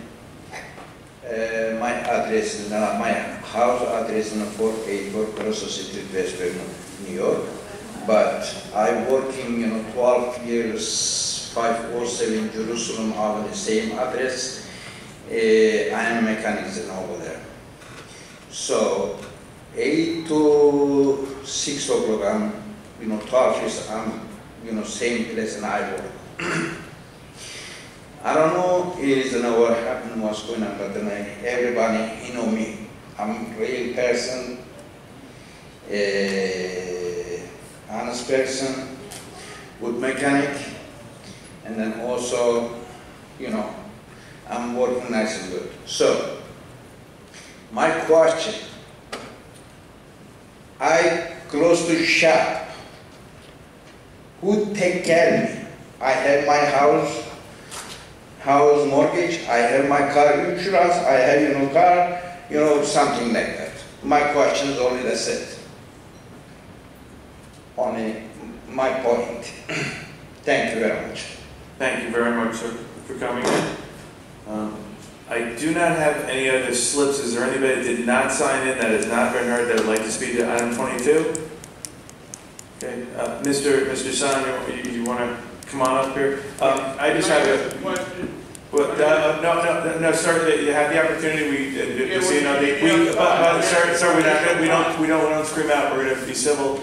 Um, we're not, it's okay, Mr. Sahn, Yes. Mr. Sahn, here's, here's a question that I have to you. Um, how many employees are gonna be at it? Uh, At maximum time, it's typically two, two employees. Okay, so are the two employees parking in one of the five spots? Uh, In, in theory, they could park, yes, in those spots. That, Unless they come. So I, so I, in, in, in theory, what does that mean? You know, so eh, are they parking in one of the five spots or are they not parking in one of the spots? They, they would be directed to park one. They would only park in those spots and not along residential streets? Absolutely no, no, no residential street parking whatsoever. Uh, obviously, you've, you've heard a number of concerns from a lot of the residents. Um, you know, they're very concerned about the, the twenty-four hours. Uh, you know, they're very concerned about some of the fencing. If you want to address a couple of the, the items? Yes, yes, if I could. And I'm going to also ask Mr. Tartaglia. Uh, As the board knows, convenience stores are not destination uh, for traffic. They're not destination driven. Uh, They take pass-by traffic or the traffic that is coming otherwise to the gasoline station. Uh, We all understand there are generalized concerns with traffic on all the roadways. But uh, we have to keep in mind also that the property where the parking is proposed at the rear is zoned business, and it could be developed for business use. So it is not appropriate for residential use. This use would actually allow that to be uh, better parking facilities and prevent on-street parking. There'd be no need for anyone to park on-street with this proposed use. Uh, And Mr. Tartaglia is going to also comment, if he can, on the traffic circulation, which is designed to bring the traffic back out to Jerusalem compared to Sawmill. Mr. Tartaglia? Thank you, Mr. Sahn. Um, I- First and foremost, I just want to thank the residents for coming out and and sharing their concerns. It's it's great to see a a tight-knit community come out. I visited the site, everybody keeps their homes wonderfully, Um, so so they really, the the amount of concern is is totally understood and appreciated. Uh, We did not take the design of this property lightly. As I said in the beginning, um, we elected, or with the clients, um, pocketbook, we elected to purchase the property next door to create a safe parking and circulation area. But looking at the plan, as Mr. Sahn mentioned, so the way it's proposed is that the pass-by lanes along the north and south sides of the building would be one-way circulation, clockwise circulating around the building, so that if somebody pulled into the property and wanted to park behind the building, they would simply pass by the north side and then park and then leave via the south side and then just get right back to Jerusalem Avenue if that's their destination. Um, In terms of traffic, though, I just want to reiterate what Mike Hassan said. Specifically, you know, the ITE, which is the Institute of Traffic Engineers, and this board has unfortunately seen me testify on a lot of gas station applications here over the last 15 or 20 years. It is our specialty. In each and every one of those applications where a convenience store is proposed, the conclusions have been quite simple. Convenience stores do not attract new traffic to an area. What they do is draw traffic from the existing roadways. And with the um, other stores that are located to the east and to the west, as the neighbors um, so astutely called out, um, nobody's leaving their house to specifically come to this station to get a convenience item. They've got other choices. However, they will come to the facility to buy gasoline. And if so, what we'd like to do is get them inside and purchase a convenience products item. Can, can, can I say this one question? You, you- this is just, you said the convenience store won't attract new traffic, is that right? What was it you said before? Won't attract new traffic to the intersection. Okay.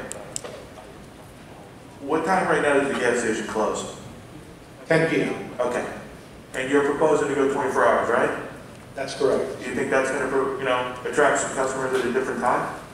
Uh, I think with 24-hour uses to the east and the west, I don't think any new traffic, Mr. Supervisor, will be added to this roadway. I believe the cars are already on the road.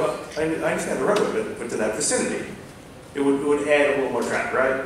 There would be additional trips into the facility. I Just, just, just wanna make sure we're all set on the same page. Yeah, the the concerns I'm hearing, Mr. Supervisor, are more the traffic on the roadways, not into the site. Mr. Sahn, anybody else? Uh, No, that's uh, our presentation. We appreciate your patience and appreciate the residents who have spoken, and uh, any of them are absolutely invited to call me I subsequent. think, I think that, that's, that's a great representation you're making to everybody here. I think you're seeing a lot of residents who are very passionate about the area. Um, It is a county road, not a town road. Uh, So a lot of the concerns are probably, you know, should be for the county portion of it you brought up. But I think it's great that you're willing to have a conversation with a lot of the people that are here uh, in opposition to it. All right, so with that, can I please have a motion? Okay. I move that we uh, close the public hearing. And uh, um, I want to thank everybody for coming out, because you really shed a lot of light on what's going on there from your, just from your testimony alone, whether there was a new gas station going there or not. Uh, We were going to ask for a traffic study because of what you said today. I'm going to ask for a traffic study to be done and see what we can do to make it safer for you, whether we go or not. But my, uh, my motion is to reserve decision. Second motion. Supervisor Clavin? Uh, Just so uh, the the residents know, reserve decision, um, we're leaving it open for additional comments from the community, emails, or anything else that want to be submitted can and will be made part of the record. I vote uh, to uh, reserve decision on this. And to that point Supervisor, the petition that was given to me uh, is also made part of the official record. Yeah, and and in addition, uh, the the town council made the reference, we are going to reach out to the county about a traffic study as well as lighting there since it is a county roadway. Supervisor, um, you said Supervisor Clavin, you said. Aye. Uh, Councilman Carini? Aye. Councilman D'Esposito? Aye. Councilman Dunne? Aye. Deputy Supervisor Goosby? Hi, I would suggest that maybe you could have another meeting with the residents and see if you could come up with something that could help. Thank you. Is that right? Thank you. Councilwoman Miller? Aye. Councilman Muscarella? Aye. Thank you, and thank you for all the residents coming in and making your voices heard today, and thank you, Mr. For your presentation. Thank you. Supervisor, uh, if I may just, uh, for the sake of clarification, uh, Madam Clerk, um, we called both uh, items together, so the vote was on uh, to reserve decision on both items. I should have mentioned that both 22 and 23. Thank you. Let the record reflect it was a, it was a decision on both of those items. Madam Clerk, please call the next item. All right, we have the decision calendar, uh, and we have a resolution adopting a SEQRA negative declaration and determination of non-significance in connection with an application for a special exception approval for a parcel of land in Baldwin. Okay, can I get a motion? I move the public hearing be closed and the board adopt the item. Just a moment, uh, I think you need to, uh, there's no public hearing unless the clerk would like to, there wouldn't be a public hearing anyway, the decision. So it's uh, simply a motion to, adopt. Councilman? Motion to adopt or? I move the public hearing be closed and the board adopt the item. Councilman, there's no, no hearing. Adopt the item. Second. Supervisor Clavin. Aye. Councilman Carini. Aye. Councilman Esposito. Aye. Councilman Dunne. Aye. Deputy Supervisor Goosby. Aye. Councilwoman Miller. Aye. Councilman Muscarella. Okay, Madam Clerk, please call the administrative calendar. Actually, we have one more. Oh, there's one more. I didn't see that, sorry. Twenty-four A, twenty-four. Madam Clerk, please call the next item. Number 24, we have an application on Cruise Launch Auto Repair for a special exception of public garage for automotive body repairs in Baldwin. Okay, anybody have a, uh, motion? I move the board adopt the item. Second. Supervisor Clavin. Aye. Councilman Carini. Aye. Councilman Dunne. Aye. Deputy Supervisor Goosby. Aye. Councilwoman Miller. Aye. Councilman Muscarella. Aye. Madam Clerk, please now call the administrative calendar. Yes, we have. Hold on. Eh, Councilman Esposito felt, felt like he was, he he skipped over. Did I? It's all right. It's- Maybe it was intentional. Nothing but love, Kate. That's right. Councilman Esposito, what is your vote? Okay, now I'm gonna ask you to move that administrative calendar. All right, on the administrative calendar, we have items 25 through 60. Okay. I move it. Supervisor, uh, before we begin, um, item 56 on the administrative calendar is a calling resolution for an amendment to the building zone ordinance. It consists of uh, two sentences. Um, I'm- It was my understanding that uh, a previous draft of the amendment uh, was uploaded to the calendar, and that has since been been corrected, and the corrected draft is up. But I thought, since it's only two sentences long, Madam Clerk, with your permission, I would read the two sentences into the record. Please do. Thank you. Section 401, prohibitions. A, no religious use or educational use may be established or expanded in any use district of the town unless and until a special exception permit has been granted to authorize the same as provided in this article, period. The provisions of this article shall not apply to Article 11E, educational cultural districts, E, which shall not be required to obtain special exception permits. That's the entirety of it. Thank you. Very, very well done. Um, Any member of the board wish to sever or speak on any item administrative calendar? Okay, I have a couple of slips. We'll start off with uh, our very own Felix Procacci.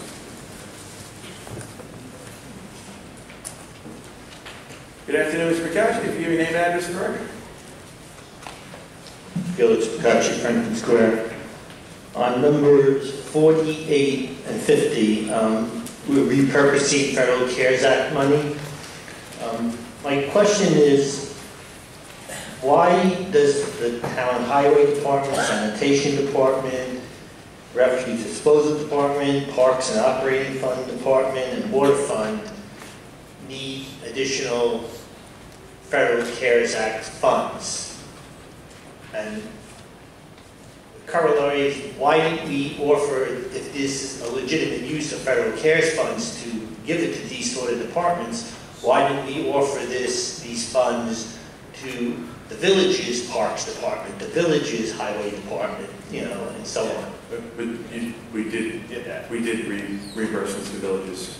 with No, but we didn't give anywhere near the, the No, amount. no, no, no, just, I'm saying, you- you, you said there were lots of expenses included in a lot of their submissions, it included a lot of these things. So, so that, just so you know, that the villages were included, and they chose what their submissions were, And some villages submitted for fire department portions, some submitted for the parks, some submitted for the operation and sanitation. So I I just wanted you to know it it was. No, no, But as to your, I that's okay. saying, But just to, just to clarify that, like.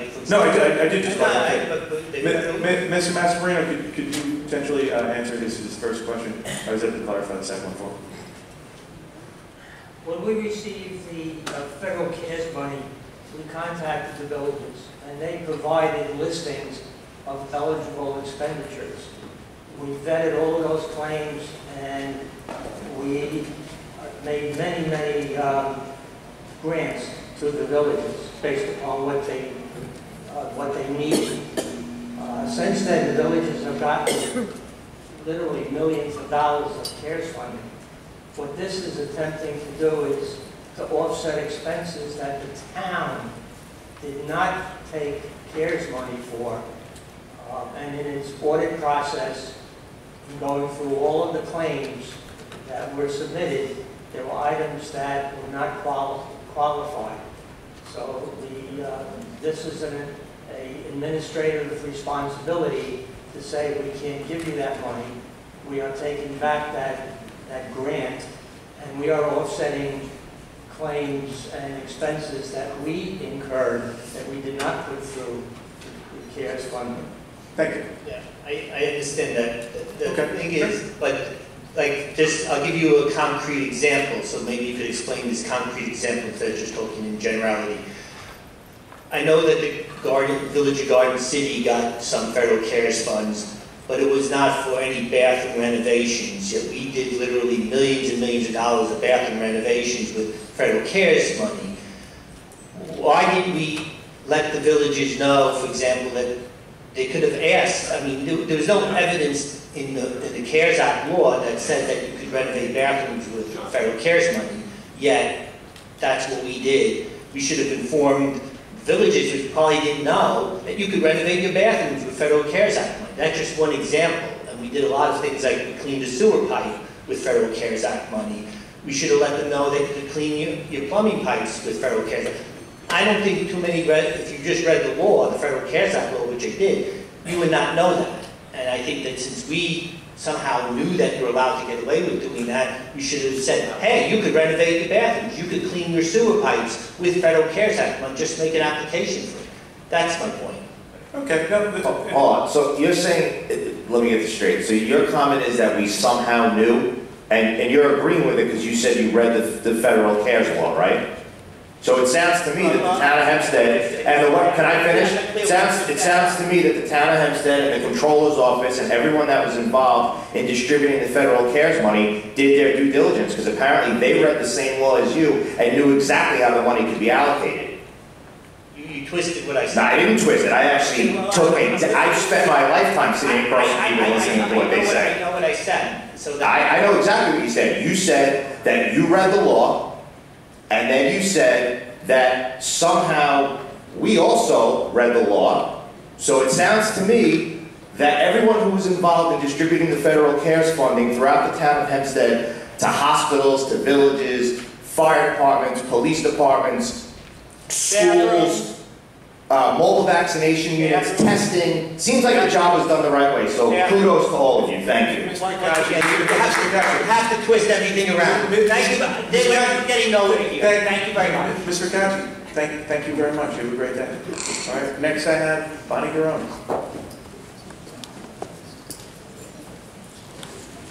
Good afternoon, if you can name and address for the record. Bonnie Garone, Rockville Centre. Um, As to item 43, this appears to be uh, approving agreements that already were given to about 25 people uh, to be uh, physical fitness instructors uh, this summer. Can you tell us how um, those positions were advertised, if they were, and how these people were selected? Um, Is our Parks Commissioner? Afternoon, Supervisor, members of the board. Uh, Ms. Garone, we did not advertise them. We re-entered into contract because we have special services contracts with these instructors, and we've had great success with them in the future, show, in the past. So we wanted to go into the future with them using the same ones. That's what you've said uh, in the past with respect to these kinds of agreements uh, Right. for other instructors. So you're telling me that the roster of instructors never changes? Uh, Will, you know, the same people every year are instructors, never need a new one.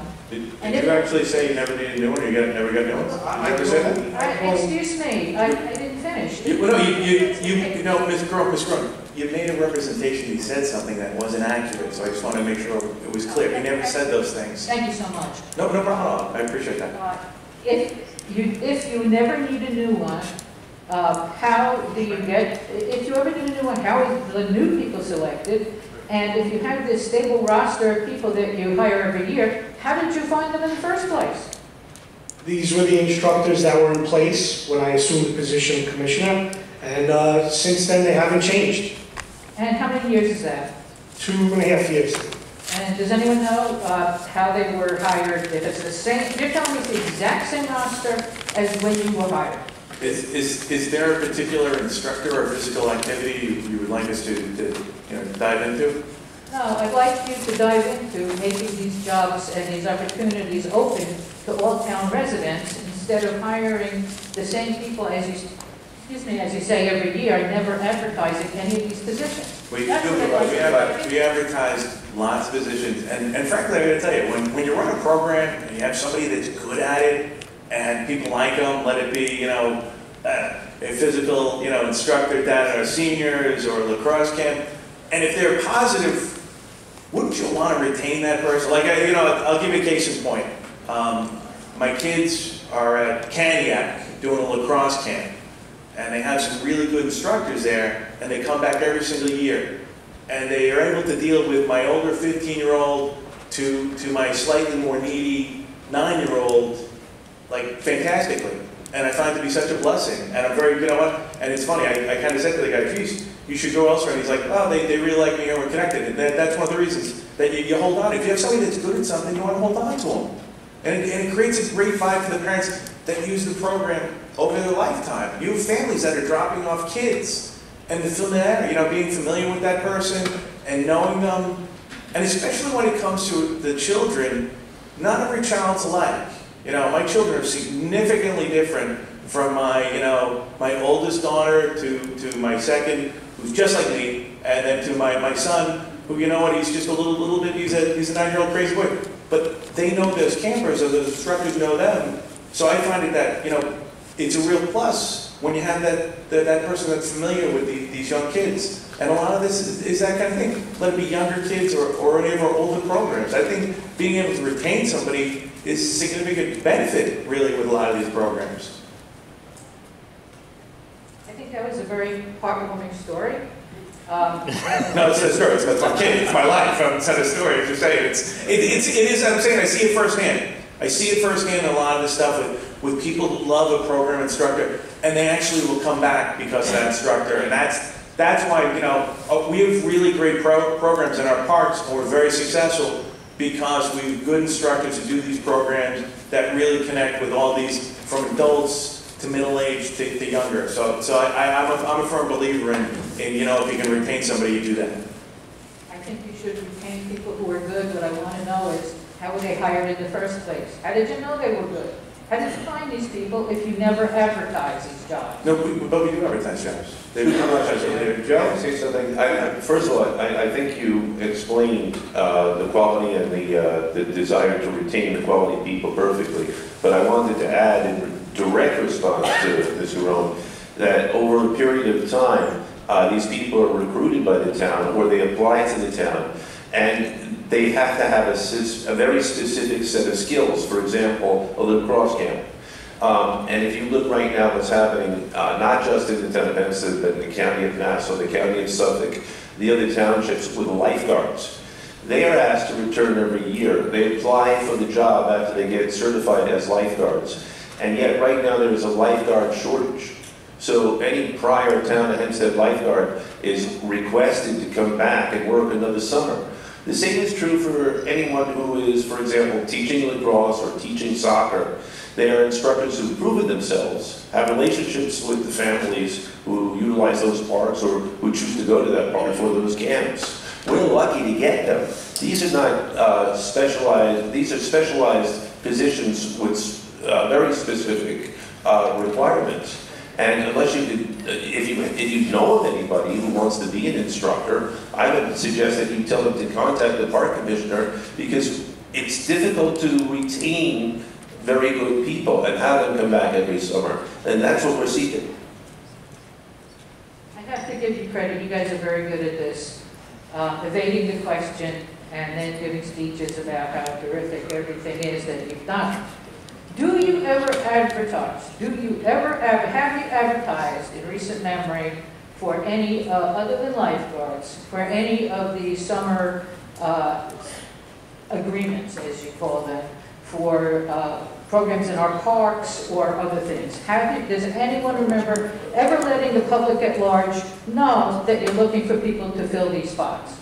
In my two and a half years, ma'am, I haven't seen the need yet. But certainly if it was necessary, we would.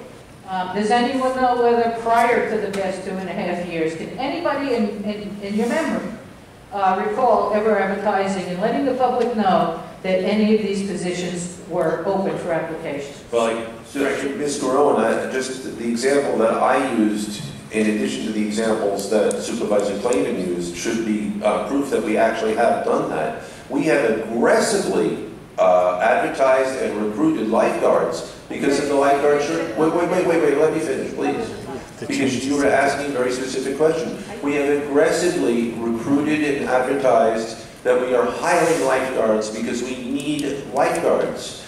And when someone has proven themselves and been a good lifeguard, pool or ocean or whatever, uh, they're going to be automatically asked to renew next season, uh, the next opportunity that comes up. If we didn't do that, we wouldn't have anybody to teach these classes or to guard our pools.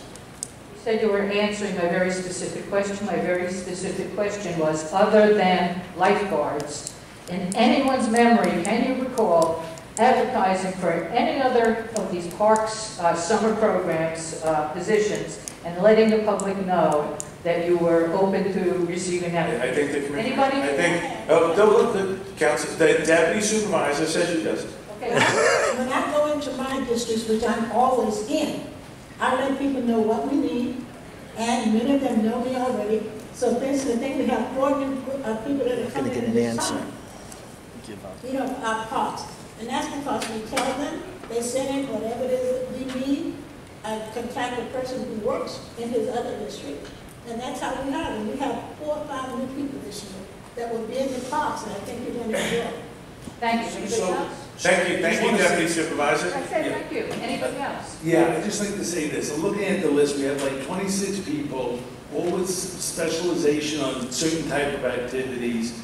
Um, Deputy Supervisor mentions that she speaks to the community, so maybe we do get them from word of mouth. They're getting a couple of hundred dollars for things like Zumba, uh, karate, and- and all these things. So that's the way it's done sometimes. Sometimes it's just word of mouth. Nobody's getting rich on this. It's just basically a labor of love and things that they like to do and very creative and specific. And that's But it's basically very it. highly specialized, I, I recall that. Um, I thank you very much, Deputy Supervisor, but nobody else remembers doing this? Thank you, Ms. Garone, always a pleasure. Next, I have up uh, Dorothy Claus. Ms. Claus, you come up to the front. Are you asking a question on the administrative calendar, or is it just a, a- a general topic? Okay, uh, it's- so it's, it's, if it's not on the administrative calendar, you want us to call, wait until we call the miscellaneous, and I'll have you speak first? Because we're just doing the calendar right now. Can you wait one second? Okay.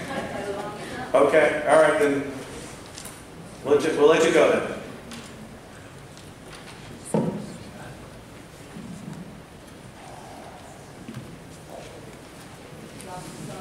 Here we go.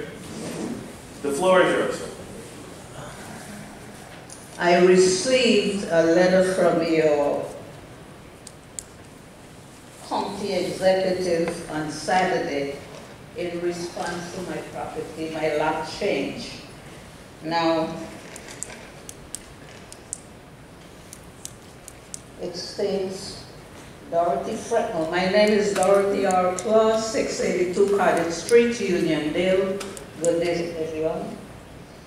It said Dorothy Fret, 682 Cottage Street, Uniondale, New York. Reference, section 50, block 125, lot 11, because that's what's on my deed. Because we all needed four digits for your computer. You added two zeros in front of the 11. Didn't complain. Now, you said the assessment office, who is Nassau County, wanted five digits. So they added a zero behind the 11, so it's zero, zero, one, one, zero, which is 110. That means my lot number has been changed. Here, it says, my site is impaired, also known as Castle 50, 125, 00, 110, 110. So they also stated the zero was added as a filler, but my property did not need a suffix, but it's a filler, just in case a suffix is needed later on. Then they go down in another paragraph down to the end and they said they've been using this computer system for the last 20 years because of your assessment, This was sent, letter was also sent to Honorable Kevan Abrahams and Honorable Dorothy Goosby. I also gave a few of the members up there this morning copies that I made of this letter. Because the taxes are paid here in Nassau County. I pay to Hempstead. In the first place, I'm no longer Dorothy Fret. My husband is dead. I'm the Castro, maiden name, or Claus. Since you all can't do anything, I'm taking this outside of Nassau County because I've run around since last year and this year about my home. So I'm going to take it outside. Un- Understood. Um, The, the last thing is, I know uh, Ms. Randall, I see it back there. Um, Can we confirm that a, a change of name has been submitted for documentation of her bill to reflect the right one? I know that, I appreciate that very much as always. Thank you, Ms. Claus. Uh, With that, I don't have anybody else signed up for the administrative calendar. May I please have a motion? Second. Supervisor Clavin. Aye. Councilman Carini. Aye. Councilman D'Esposito. Aye. Councilman Dunne. Aye. Deputy Supervisor Goosby. Aye. Councilwoman Miller. Aye. And Councilman Musgrove. Aye. Okay, may I have a motion to adjourn? Supervisor, I make a motion to adjourn. Deputy Supervisor Clavin. Aye. Councilman Carini. Aye. Councilman D'Esposito. Aye. Deputy Supervisor Goosby. Aye. Councilwoman Miller. Aye. Councilman Muscarella. Aye. Not say that. Is- did- Was that called? Uh, it was definitely intentional, good. The, um, yeah, I can understand the missing Dennis thing, that's, that's a problem that. All right, now the formal portion of the program has been adjourned, the town board will remain to listen to the comments of the residents, and we'll start off with Felix Procacci.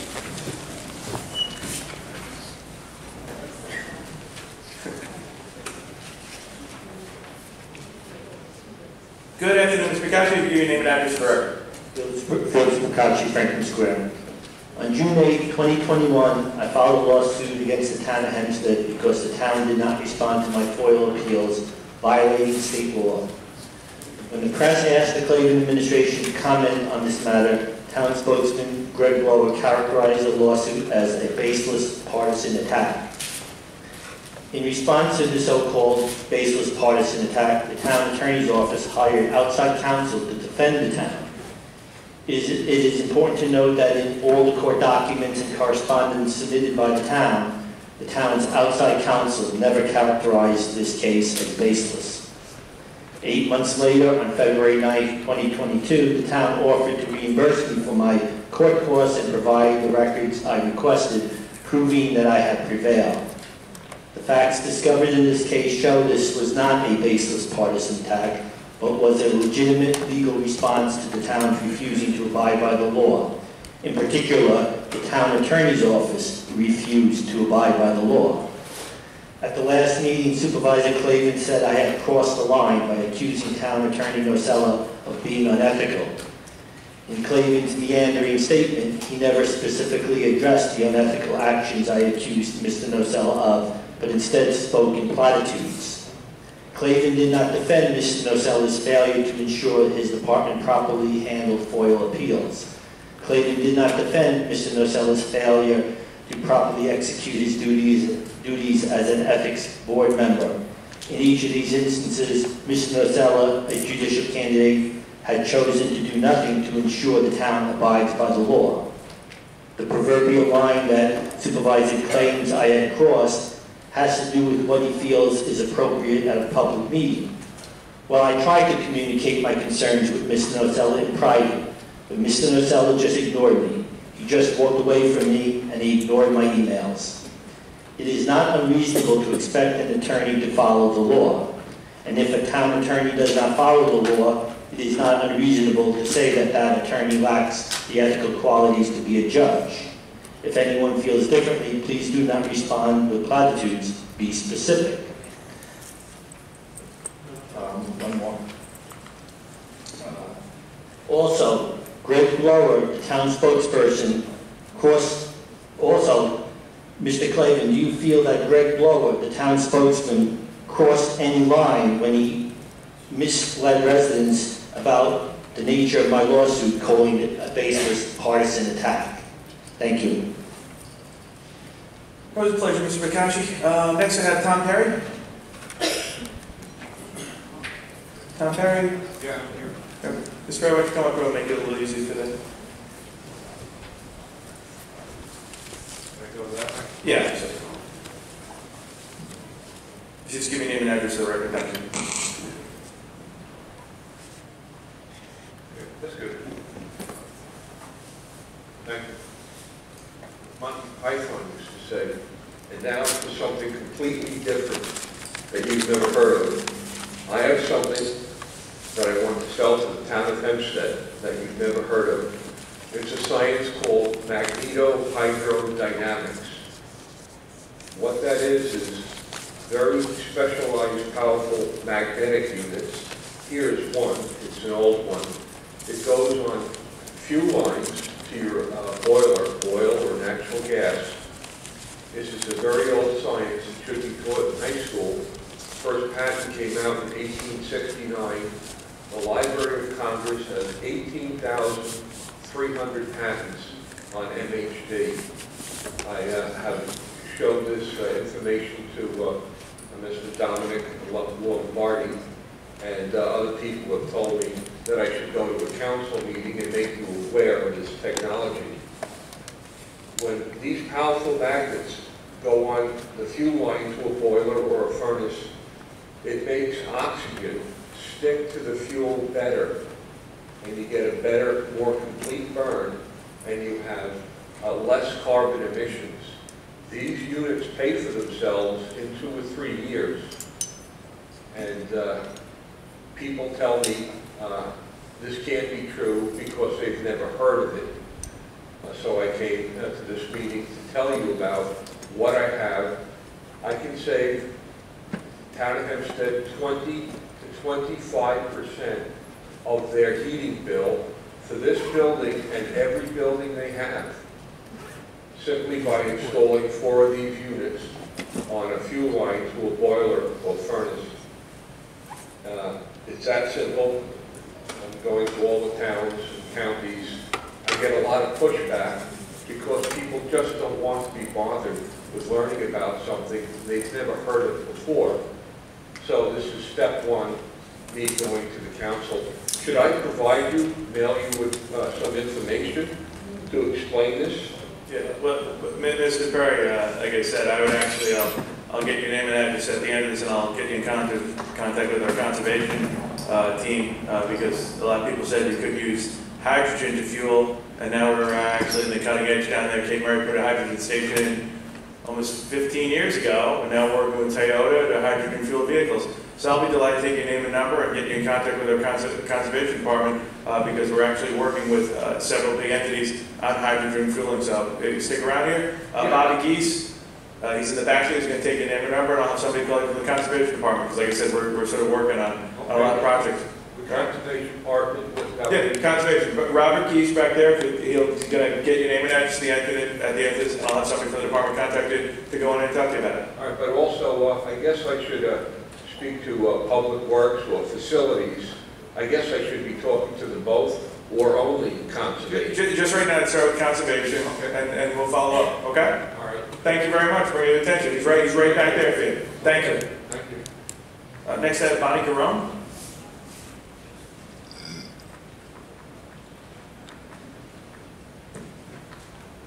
Bobby, you got it? You got it, correct, thank you. That's it, Ms. Garone. Bonnie Garone, Rockville Centre. As you know, redistricting of the town's council districts is required uh, after the most recent federal census. I'd like to know, and I believe residents are entitled to know, when you will be undertaking the redistricting process and how you will be informing and including residents uh, to ensure that the process is open and fair. I hope, I sincerely hope, that you're not planning to create the maps in darkness, keeping them secret until three days before the board meeting where you will vote on them, as you do with most board items, uh, because I think the town residents deserve better than that. Where the council lines are drawn is important, and some would say that recently uh, the public saw that in two very, uh, two very different uh, items. Number one, would Baldwin residents have suffered from such a long, drawn-out process for its downtown revitalization if Baldwin had one representative to deal with and responsible to it, instead of being carved up into three different council districts? Would Elmont have needed representatives outside of town government to advocate to get Elmont Road Park open if Elmont had one representative responsible to it instead of being divided between two districts and lumped in with Garden City, Atlantic Beach, and other communities with which it has little in common? The maps matter and the public should be involved. For example, the town of North Hempstead this year had a bipartisan redistricting commission. I really hope you're listening uh, had a bipartisan redistricting commission and multiple public hearings for residents to view proposed maps and have input. This board should do no less than that. As to timing, the last time redistricting of the town was done was in 2013. And at that time, the uh, districts, the redistricting was voted on in April, effective in June in 2013, so that the new lines were in place for the town election that November. But back in 2013, the primary elections were in September. Now, the primary elections are in June. So next year, the town uh, election year, the primary will likely be in June, with designating petitions likely starting in March. As a result, redistricting must be done much earlier than you did it last time around. So now is the time to be talking about this and to get the public involved. Can you tell us what your plans are? Well, Ms. Garone, I think that, uh, I don't want to speak for everyone on this board, but I think for me personally, I think that uh, if we make sure that we don't follow any of the direction of the New York State Democrats and what they've done over the last year uh, with completely disenfranchising voters to the point where Supreme Court judges and judges from the appeals court had to throw out their maps, uh, I think if we take the step and avoid anything that they did, I think the members, of the residents of the town of Hempstead will be in good shape. Thank you for that political commercial. Well, I mean, you, your point, you're painting the picture that, uh, that the town of Hempstead is, is operating under the cloak of darkness, which is clearly not the case. And what we saw over the last few months is that uh, the Democratic Party in New York State did exactly that. And when they said that they were trying to include everyone, in fact, disenfranchised thousands upon hundreds of thousands of voters in New York State. Thank you, Candidate D'Esposito, but what I said was, I hope you're not going to do it in darkness. And I asked you when you're going to do it and how you're going to. in- Thank, thank As an you. answer, Ms. but- Ferraro, thank you so much, and, and and I, I will echo, we will absolutely see exactly what New York State did, and we will do our best not to follow their absolute disaster and take it to court and lose every single battle. Um, so thank you as always. Uh, next I have, uh, uh, let's see, we have Pearl Jenkins. When are you going? Pearl, oh, thank you so much again, thanks, Mr. Romney, take care, have a great, happy Fourth of July. But now we have Pearl Jacobs, thank you so much.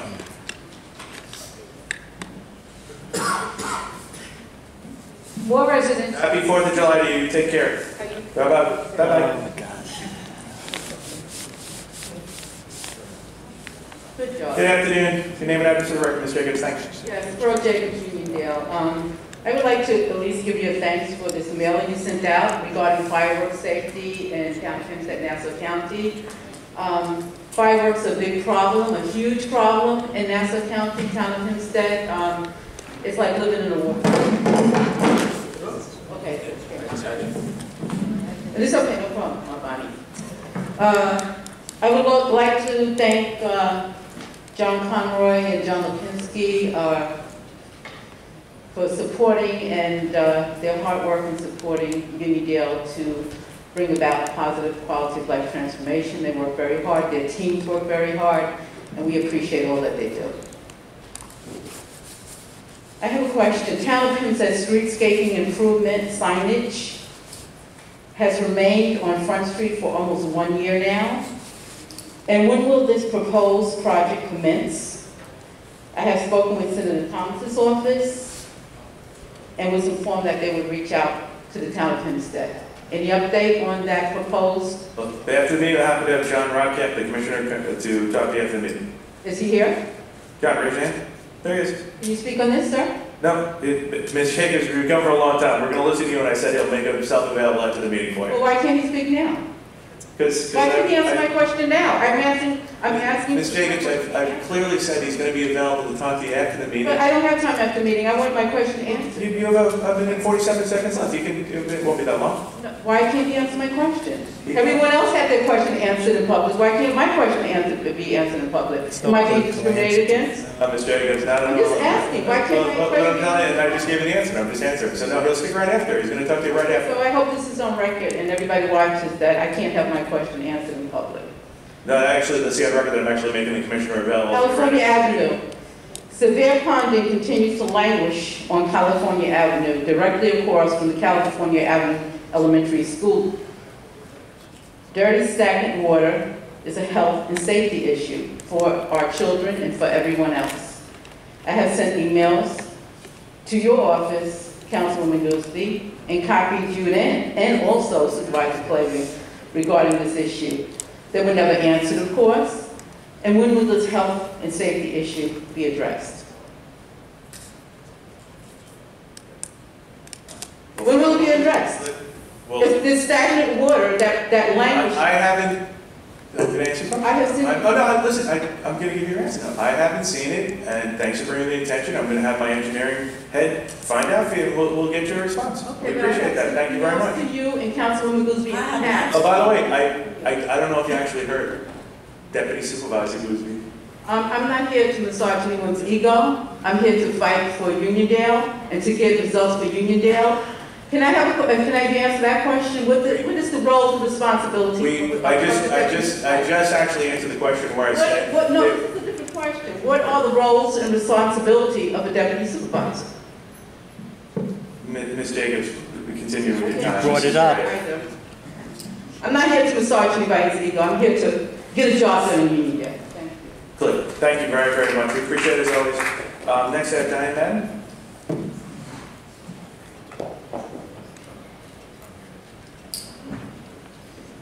Diane Madden, Hempstead. Um, There was a lot of talk about specialized positions earlier, and um, the animal shelter, there is no department in this town that requires a more specialized position than the director. Um, I don't want the board to take my presence here, because at some point, I hope that the animal shelter proves so much that it won't require so much public outcry and making the board aware of what's going on at that animal shelter that continues to. Um, I hope the supervisor, who apparently is looking to take the shelter in a different direction, uh, won't require a lot more evidence. I don't know how much more evidence will be needed, that we need a compassionate, humane, kind, knowledgeable, experienced, open-minded director at the shelter, and that's when the problems will get resolved. As far as the backlog um, and the continued backlog of uh, applications, people are coming in there. Uh, we have to be glad they're adopting. People can't feed their families with groceries, inflation, and gas, and yet you have the public coming in to adopt animals. They should be, it should be as smooth as silk.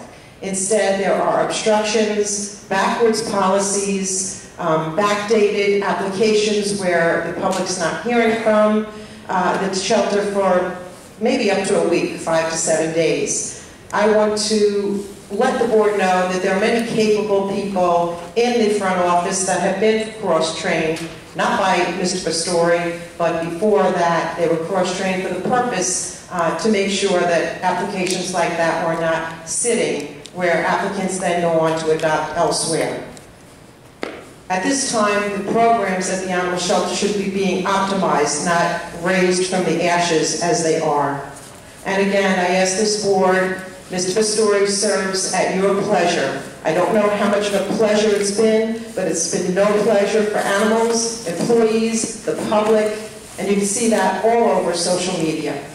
I do thank the board members who got involved with Zena's rescue.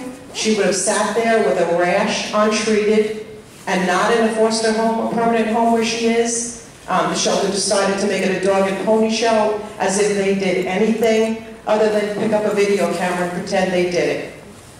I hope your involvement continues, Supervisor. That is going to make all the difference in the world. Currently, as you may or may not know, Mr. Pastore doesn't care that the phones aren't being answered at the animal shelter. He doesn't care that adoptions are backlogged. The amount of injuries, the lawsuits that we're paying for, by the way, that are all preventable. There's no experts. Every department has no real leadership in it. Um, and the problems, once again, are, are rising uh, in the volunteer program.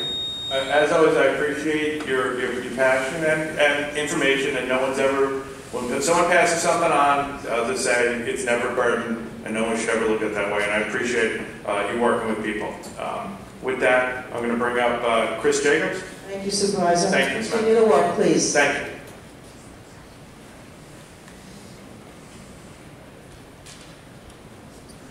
Good afternoon, sir, your name and address for the record?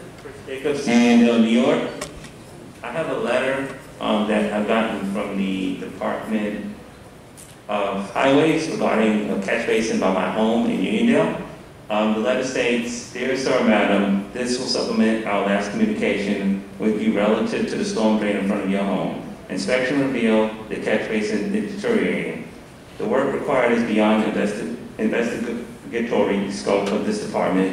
We are referring to this matter of the engineering department for review and inclusion into the requirements for contract for repair. I imagine the engineering department to contact you directly with their findings. Um, That was signed by Gregory Colorasi, Commissioner of Highways. As of now, this letter was sent to my home on May 2nd, 2022.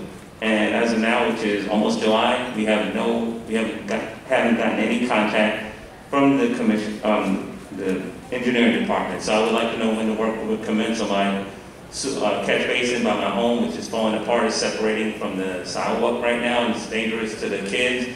I've seen kids get their bikes stuck in there as kids jump the curb and stuff like that, and also small animals getting stuck in there. So I would like to know when the work is going to commence. I can't answer any question about that, but I know I have my build, my engineering commissioner, he's raised his hand right there, and after you're done speaking, he's gonna go to the back and talk to you directly. Okay, All right. that's great. Thank you. Not a problem, thanks for coming in today. You too. Michael Romano? To My left, and uh, Marcia Gutierrez.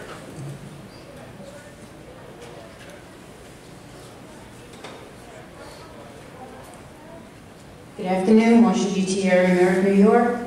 I did have a slip-in on the administrative calendar, item 47, emergency removal of trees instead of emergency planting. I don't know if you can answer that after. Um, Regarding my comments, I would like to know if you supervisor received any of my messages regarding meeting with you. Would feel it would be much more beneficial if we were able to have a a conversation and possibly a solution to the never-ending removal of healthy trees, mostly by developers. I state the devastating facts of healthy tree removal at every meeting, never getting a response.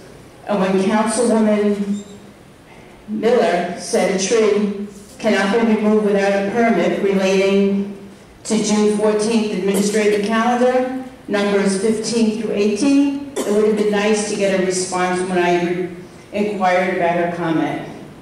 Have laws changed to benefit the environment? Do the town of Hempstead laws now coincide with the town of North Hempstead and Oyster Bay, stating that no healthy tree can be removed from a property without just cause, a permit, and con- consequences? Or were these items single dwellings that the aforementioned developers want to subdivide and remove all of the trees as they do with every property bought? Who can I speak with to set up a meeting Nobody. to discuss